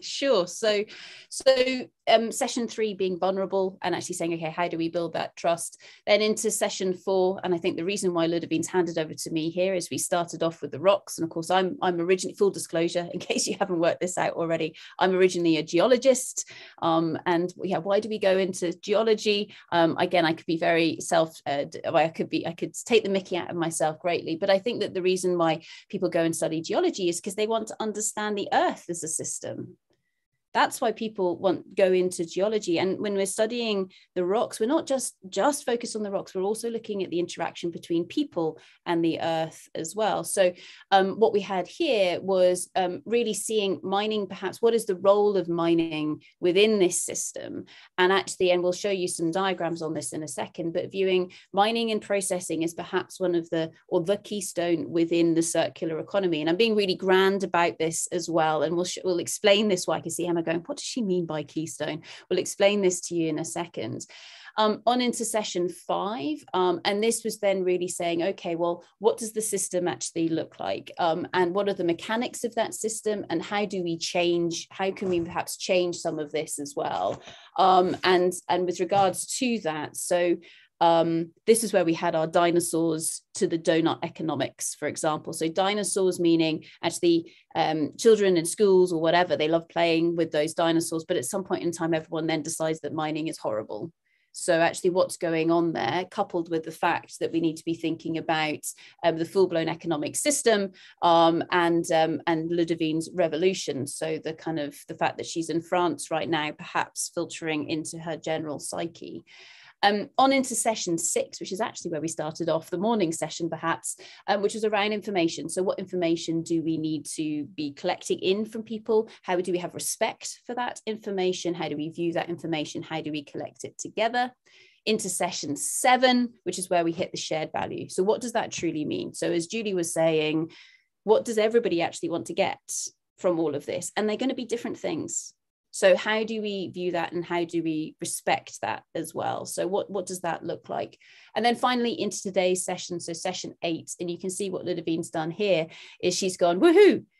We've got the same themes coming through again. So i think that the theme for session eight as has been noted here is collaboration so actually, how do we come together? How do we share these ideas? And that collaboration is, of course, shown where we've done some fudged mapping back to the themes of the other session. So Antoine and Lizelle, um, Liesl, sorry, um, talking about perhaps information, for example, plus a whole host of the other areas. Johannes then really talking about, okay, yeah, what do we mean by the just transition and what does that mean perhaps in the European context? Um, across into Phil, so saying, okay, yeah, what does this system look like? Where do the byproducts, etc., come in? And probably a little bit of number four in there as well. Um, Zach, of course, addressing a number of those different areas. Um, uh, Emma again coming across into those sessions four and five, and then finally Julie coming through into that. Okay, what do we mean by that shared value? Now we could carry on doing this mapping all day, couldn't we, Ludovine? But it just shows that there have been those strands that have come through the course of the past week, which have been great. And also, what this means is that anybody who wants to use this material the mapping's all there. So if you need to construct, I don't know, three videos that you need your students to watch, for example, to then write an essay on, they're all there. All the material is there to inspire that thought and also get you know listen to people who disagreed with one another as well because there have been lots and lots of different points of view over the past week. So moving from that into the next area. So so what what do we do with this shared knowledge? And ludovine do you want to come in on this? I, I do because I think one of the elements that's really important here, and this was mentioned in one of the panel sessions previously, is that there is a community forming around these discussions and these ideas. And and it's a, it's critically important that this community also not only um, projects everything that we've heard, but if we are to act, you know, in line with with all of these um, ideas and and and options, um, I think it's important to build a mandate that is legitimate, um, and that's my governance hat right there on. Um, so what we what we have here is really our proposals for for first outcomes, really in in the sphere of knowledge. The first one is that the, the conference itself has generated the talks, the recordings, the abstracts. There is already a colossal pool of information there. But okay, the next step is how do we move that to, you know, synthesis, a synthetic, you know, presentation of something that really moves the dial, that, that moves the debate forward. Um, and that's where we thought, well, the conference report uh, which is will be our inaugural conference report, should really hinge on this notion of changing the business model. It's come across in every session that what we're changing here is not just how we do mining, how we organize this or that process. No, it's actually the entire structure of how we position this business and how it interacts with the world. So we're going to be pulling from all the talks and, and all the panel discussions the, the elements that have come to the fore about this business model, how to rethink it, what are the proposals that we've heard, how do they perhaps work together, or where do they actually contradict each other? Because hopefully that's the basis for the next set of discussions. And in terms of really a, a second outcome, perhaps more in the medium term, um, is an analysis bit focusing on ESG ratings. We had ESG ratings were raised throughout the conference, not just because Elon Musk was dumping on them on Twitter, um, but because they are almost a, a confusion in this important debate. What are ESG ratings looking at? Why do we use them? Why do we feel they fail us? And more importantly, are we really using them in the way they're supposed to be used? And if we're not, okay, what do we want to use instead? So all of these questions, rather than saying ESG ratings don't work, okay, so let's think about how they can work, how they should work, and how they will work. And that is perhaps where we see a, a valuable bit of analysis that can come from these discussions and the connections we've made, again, to shape the future of the discussion. Great, thanks for that, Ludovine. So with that, of course, we've got the conference. We've also got these uh, these four areas as well, which are already being churned out as tangible actions into then the conference report, so the changing business model, um, and we'll share some information on that right now. And then the final the final aspect that we've got on the desk at the moment is around really challenging those ESG ratings. We've already had engagement with some of the world's um, largest investors, okay, so the users of those ESG ratings. Um, we're increasingly managing to get hold of the ESG ratings organizations themselves. And then, of course, we've got interaction with the mining companies as well. So, how do we bring all of that together to do exactly as what, uh, what Said? So, those are some of our ideas we've got at the moment. We don't need to own this we just need to kickstart this discussion and chuck the pebble into the pond. So this is not by no means an ego trip or anything like that. This is us just trying to kickstart the discussions and say that's a massive lever that needs to be pulled that can actually change something. So the final imagery that we will leave you with before we open for discussion and everyone can then go and get on with their weekends, which I'm sure you'll be glad to do, um, is this this concept of mining as the keystone, which I sure we said earlier on, thought, okay, well, what does that actually mean? Well, this came out in some of those talks that we had on Wednesday, so very much midweek in conjunction with the circular economy. So, um, and, and this diagram has been put together this morning uh, during the presentation. Okay, so it's a little bit scrappy and there are probably some spelling mistakes, but let's just go with it and let's just test it. So if you've got this, this funnel of information that is coming into the circular economy, yes, we still need to be able to mine those raw materials. Despite various reports that have been published on the BBC, etc., earlier on this week, we do not have enough material in circulation at the moment for us to be able to generate the infrastructure and the technology that we need in order to be able to us to actually just survive as normal let alone go through the just transition The only way we'll be able to survive with just the material that we have in circulation right now is, and I'm going to point at that elephant in the room, a serious reduction in global population. Now, obviously, we don't want that. So, therefore, we need to be able to add more material into this circle in a responsible manner.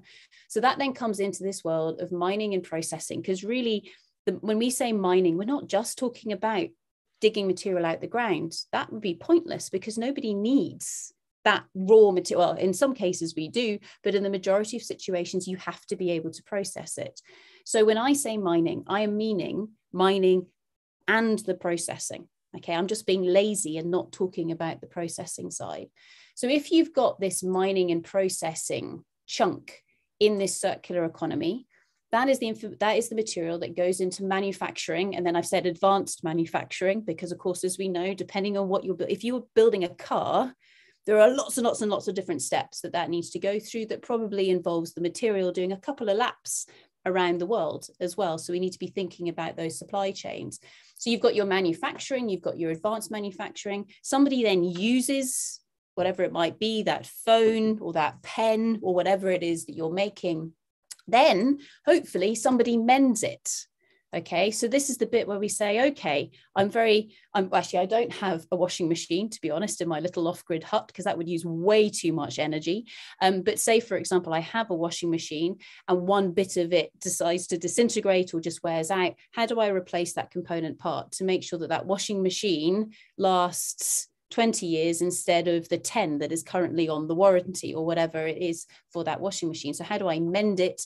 But then, of course, we get to the point where we, we do need to say, well, you know what, as the user, this is now waste to me. It has no value to me, but it might have a value to somebody else. So that then goes into the waste sorting. And that then comes back into this processing bit. So this is the recycling bit of that loop. Now, have we missed things in this interpretation of the circular economy? Of course we have. We've missed lots. And in fact, the main bits that we've missed, so this is drawn from the perspective of mining. And the reason why so many mining people draw the circular economy like this is because often it's just drawn as a circle. And everyone says, well, where's the input? Where's the input to it? So we're going to stick a big input arrow in here. Well, the real circular economy is actually all about collaboration because it's not just mining that adds in raw material or raw ideas to all of this. When it comes to things like manufacturing, etc., exactly as Emma was saying, how do we design the products that we need at the end of the day? What about how do we decide which materials we actually need? Are we thinking about things like those supply chains? And then into the use, what about our own behaviors as individuals? We're all being told at the moment, in order for us to be able to achieve a 50% reduction in, in emissions by 2030, if we switched off every coal fired power station, the burning of every single bit of oil and gas, we wouldn't do it. We need to change the way we eat. We need to change the way that we behave. We need to change the way that we travel for example. So how do we change those how we use these materials? So the individual behavior. In terms of mending yep so how long do we actually use these bits of infrastructure these bits of kit for and then into the recycling so how do we actually go about sorting out all of those materials and where we do have to put something into landfill is it really landfill or is it long-term storage by saying, okay, we can't at the moment recycle those plastic films that you get on some food packaging. But that doesn't mean to say we won't have invented the technology to be able to recycle it in 10 years. So let's remember where we put it as someone who started out life as an exploration geologist, it's all about saying, okay, the Earth, which was formed 4.56 billion years ago, and then went through huge sorting processes, because that's what we've got with the concentration of those minerals and metals. And so, an exploration geologist, what we do is we work out where stuff is in the ground. At the moment, we're creating landfill, and we don't necessarily, depending on where we are in the world and the regulations, etc., we don't necessarily know where the stuff is that we're putting in there because we might want to go back and mine it in the future. So again, this is very much a conceptual model, but you know, do we talk about it like this? And do we talk about it in terms of collaboration and respect for one another as well? Because we're bringing different things to the party. So with that, I'll hand back to Ludovine for final words, and then we'll open up to our final discussion, and that will be it. Thanks very much, Sarah. Um, I think really the final word is is we should continue as we started. Um, the reason the slide is up here again, although you all know all of our connection mm-hmm. details, is because the the strength and the value of what we're trying to shape here lies in every single one of you sending us those messages talking in the conferences the amazing comments that we get in the chats by the way thank you aldo for for your feedback because we're going to consider it particularly in shaping the the next uh, events all of this is actually what makes responsible raw materials perhaps a little special, but also very powerful. And so my final word would be be in touch, let us know. The whole point here is to say these things that perhaps don't sound so great on the usual stages or don't even get to the usual stages because they need to be said. Um, so that's more my call to action to everybody out there. Brilliant. Thank you very much, Ludovine. And as well, you don't need to come to us. We will come to you. So, to all of you who've been saying, hey, can you come and speak at our event that's happening in two weeks' time or whatever, where absolute possible, the answer is yes because we need to be able to engage in as many of those discussions as possible. And if we can't do it, we'll find you someone who can. So brilliant. So with that, thank you very much, Ludovine. I'm going to give you a round of applause. And I think we need to give Rose a massive round of applause, by the way. Big, big, big, big, big round of applause to the fantastic Rose Clark, who started off on this journey as an intern three years ago. Um, so it was all because of, it's all Rose's fault there we go. Let's lay at your feet, Rose, uh, for all of this happening. Because to be honest, if Rose hadn't come to us and, and said, hey, I need to do a two week internship on something, um, and then not that COVID has been a good thing at all, but that has because COVID came in, we had to switch up that idea really, really quickly. And thus the first ever Responsible Raw Materials Conference was born. Um, so brilliant. Thank you very much, Rose, for, uh, for making all of this happen. There we go, Rose. Brilliant. cool. So, just I think in closing with regards to this, we've still got our fantastic speakers from this morning. And I realize that we've just thrown a huge amount of information out there. It's still very much spinning around my head. Um, Julie, perhaps if I can come to yourself first, give me a big thumbs down if you want me to go to somebody else first. okay, awesome. Julie, perhaps if I can come to yourself first and just get your reflections on on all of this, and then Phil, perhaps if I go to you next.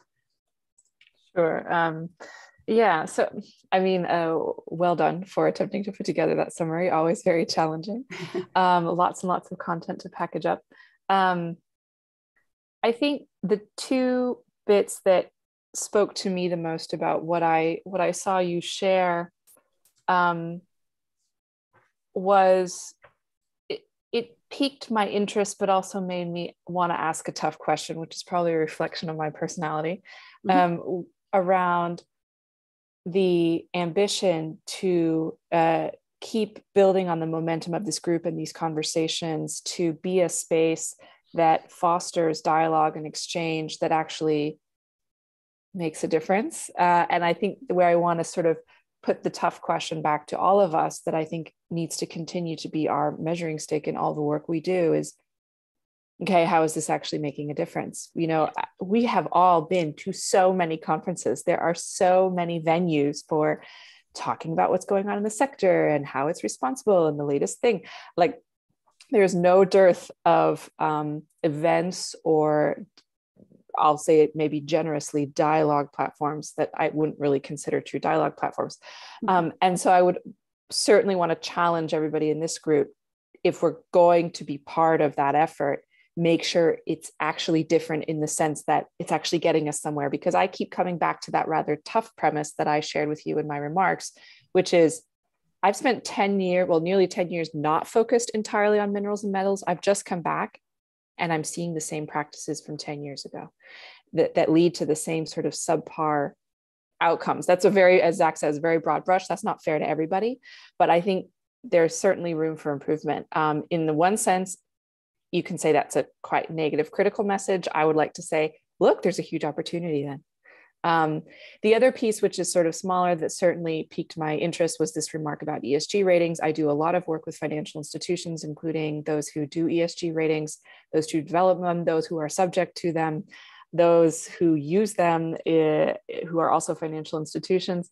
Um, that's a very, very interesting subject matter. Of Zach, I saw your comments. I think that there's a lot to be said in terms of where do those ratings come from? What legacy practices do they reflect that we can say at this point do not have evidence to support them that they actually lead to performance improvements? Again, based on the performance indicator that would set improved outcomes for people and environment as, as the performance indicator as compared to the presence of a policy, the presence of an audit, et cetera. Um, but it's certainly something that there has been a very extensive conversation already on many levels uh, with ESG uh, ratings and rankings institutions. It continues to evolve. I think there's a lot of work to be done there. But again, I would just caution companies who feel subject to all of this and going, I'm being pulled in every direction all the time. This is horrible. I would agree that is kind of horrible. And um, what I think, again, is useful for me at least, I keep going back to that guiding light set by the UN guiding principles. Because if you're worried that there's going to be it's whack-a-mole again of like a new ESG rating that I'm going to be subject to, do that standard do the UNGPs, which is the same as the OECD guidelines for multinational enterprises, which is the, really aligned to the new forthcoming regulation out of the EU, you're going to be okay. But that's the standard you got to go to, not some of the legacy standards that I think we've seen swimming around in the space. So that's my thoughts. Awesome. Thank you so much for that, Julie. Fantastic. And you see Ludovine applauding you there. Brilliant. Phil, do you want to come in on this discussion and then we'll go to Emma? Yeah, thanks. Um, I think, as, as Julie said, the real, real sort of take home for me is, is opportunity. It really feels like there is an opportunity to do things better here and for a bright future. Um, listening earlier to Johannes talk about Europe and how you know they'd abandoned mining in the 80s and now are, coming back to it and there's an opportunity to do things better. Well, from my perspective of technology metals, that's fantastic to hear because they are a neglected commodity that gets very little attention. And this is you know an opportunity to to do things better and to really build them into uh, future mining consideration. Um, also, just hearing all of the the people talking about you know uh, social involvement and getting getting communities really involved in it and seeing the benefits for them. Um, I think that's a really positive step and, and something that it's it's wonderful that you you're drawing attention to it through this conference. Awesome, thank you very much, Phil. Brilliant. Emma, how about yourself? Um, and then we'll go to Antoine. I'm feeling a bit as if I don't have anything unique to say at this point and uh, really appreciative of everybody else's inputs because it's been a really eye-opening experience. Um, this is a unique forum for me um, and I just am overwhelmed by what you're trying to do in not only changing what people do but changing the way that they think and there can be nothing more valuable than that so I can only just sit here and applaud what everyone's doing, what people are saying, thinking, and trying to do. Awesome. Thank you very much, Emma. That means it means a lot. so thank you very much. Antoine, how about yourself? Um, and then we'll go to Johannes.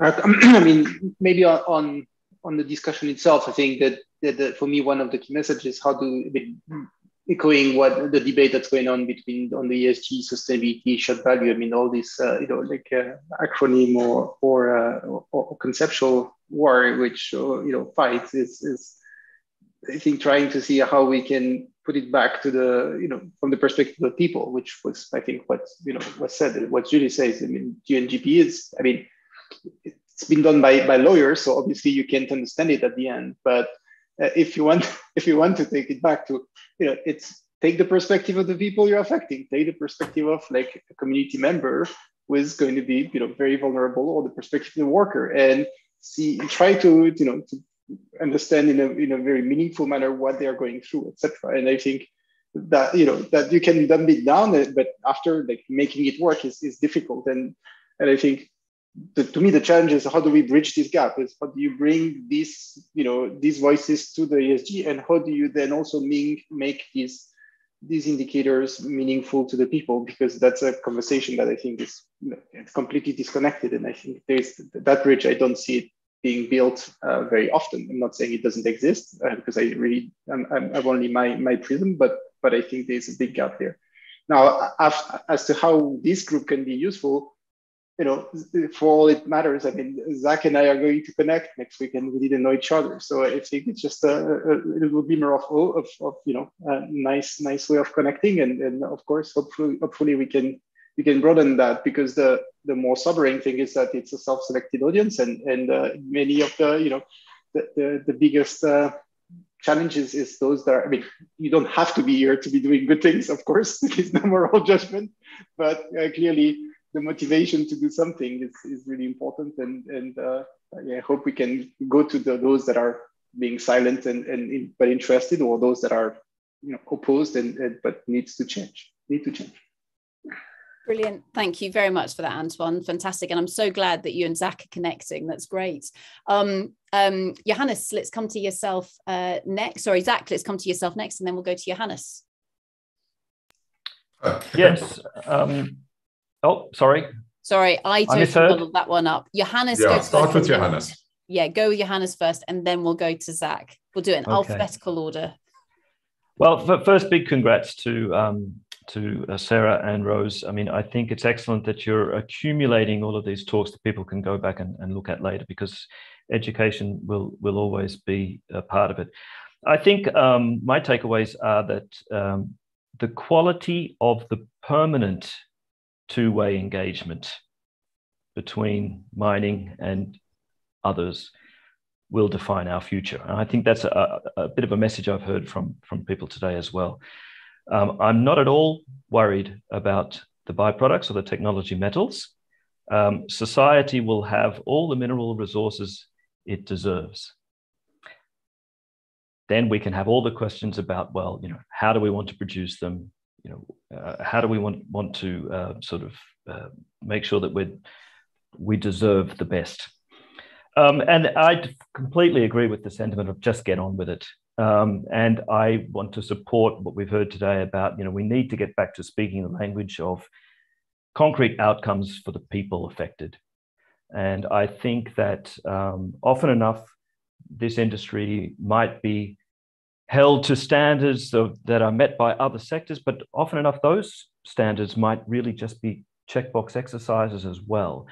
Um, so on the provocative side, I, I wonder it may it may mean that mining companies have to be courageous enough to um, not respond to some of these other demands and simply come forward in a consistent, permanent way. Here are the real concrete outcomes we are having for our people. And, you know, have the courage to let some of those other demands unmet for a while. Great. Thank you very much for that, Johannes. Brilliant. Zach so glad Johannes went first because he said it better than I could. And that, that was perfect. I um I think I think I think as a as an industry we face two uh, we face a bunch of big dangers, but I think in this conversation we face two big ones. The one is that ESG ratings and and these policies and structures and things and whatnot uh, end up being greenwashing and rainbow washing. And uh, I'm, I'm, going to do something enormously unfair. And Julie, I'm going to apologize ahead of time, uh, which is the, the OECD, the UNGP, all of these things have, have the very best of intentions, but they are incredibly Eurocentric. They're Eurocentric, they're Northern Hemisphere centric, they're Western world centric. And the world is different in different places.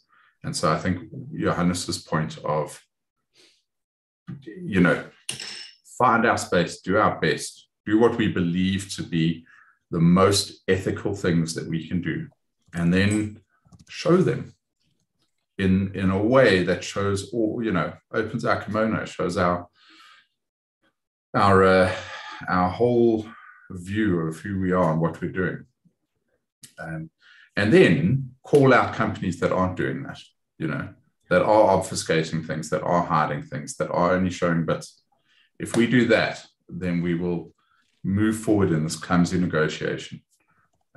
If we're willing to try and do our best, our thing that we believe to be most ethical, most genuinely good, uh, then slowly the world will move forward. And slowly we will begin to align towards those common goals, towards that uh, common ethical and moral compass. Great, thank you very much for that, Zach. Um, now I can't, I can't then finish rounding up the conference by totally ignoring that question that you posed to Julie. Uh, Julie, do you want to come in on that, and then I'll go to Ludovine. yeah, sure. Um, thank you. I, uh, in a way, I don't disagree with you, Zach. I, I think this is an interpretation question because to me, the the power of what the guiding principles articulate is specifically around that issue that I tried to hone in on in my remarks, which is about the stakeholder engagement. I mean, that's like the fancy term for it, but basically, you're you can't demonstrate that you're doing business responsibly if you just kind of go ahead and like implement a bunch of standards that that you think are relevant and and say that's it. And so, you know, I have looked at hundreds of companies' practices on these things. And if I don't see evidence that what they're doing is shaped around whatever affected people are telling them in terms of what the needs are and how their fundamental welfare and dignity is being impacted by this company's activities, that's not demonstration of responsible business. So, so that's what I'm looking for. And I think, frankly, this is kind of a misinterpretation point. I had the honor of working with the folks who wrote the guiding principles, and I know that was the guiding light in it. So I think we don't need to get into a discussion about this standard or that standard. The point is, I think we absolutely agree. This is not about coming in and imposing some external standard. This is the point around ensuring that the steps that the company takes to do business responsibly are framed around what are the needs of the people who are affected by the business. And, and at the end of the day, exactly, I think as Johannes, I kind of liked your little courageous point there at the end, said, look, you're going to get maybe hit with a bunch of different standards. Let's focus on what the actions you have taken to improve outcomes for people and planet fini, you know? And uh, I think that's really where we coalesce then here at this point. Great. Thank you very much for that, Julie. Brilliant. Um, so, just in closing, Ludovine, any final words to share with everybody? And then I'll go to Rose. Thanks very much, Sarah. Thank you to all again for adding so much. Um, this may be a pet obsession, but I think it it's also a red thread that we've seen throughout our discussions today. Um, accountability. And I, I realize that when people hear accountability, they think of it as a punitive concept. Accountability also necessarily means empowerment. You can't hold someone accountable if you haven't given them the space, power, and capacity to do what you're holding them to account for. So I, I view a lot of these discussions as a call to action, but also a call to accountability accountability of ourselves. And I know I said this yesterday also, but also holding others accountable on the basis of what we have discussed or agreed as shared values. And that's where I, I think I, I very much uh, meet Julie's point. Um, guidelines and standards are tools. They're tools to define accountability mechanisms. Let's use them. And if you're using them, say what you do and do what you say. And frankly, if we start with that, you know, we'll be already a long way towards a lot of solutions being developed or more importantly, implemented for positive outcomes. So, yeah, the lawyer view, but still useful. we'll take it, Ludovine. We'll take it. Brilliant. Rose, any final words? Thank you. I I'm going to start this by zooming all the way back out and saying, firstly, thank you to you, Sarah, because you've made this work and allowed these threads through all the different the all the different sessions to work and for them all to come out. I think Graham has said in the chat that this is a really great forum because we jumble everybody up and nobody is an expert in everything.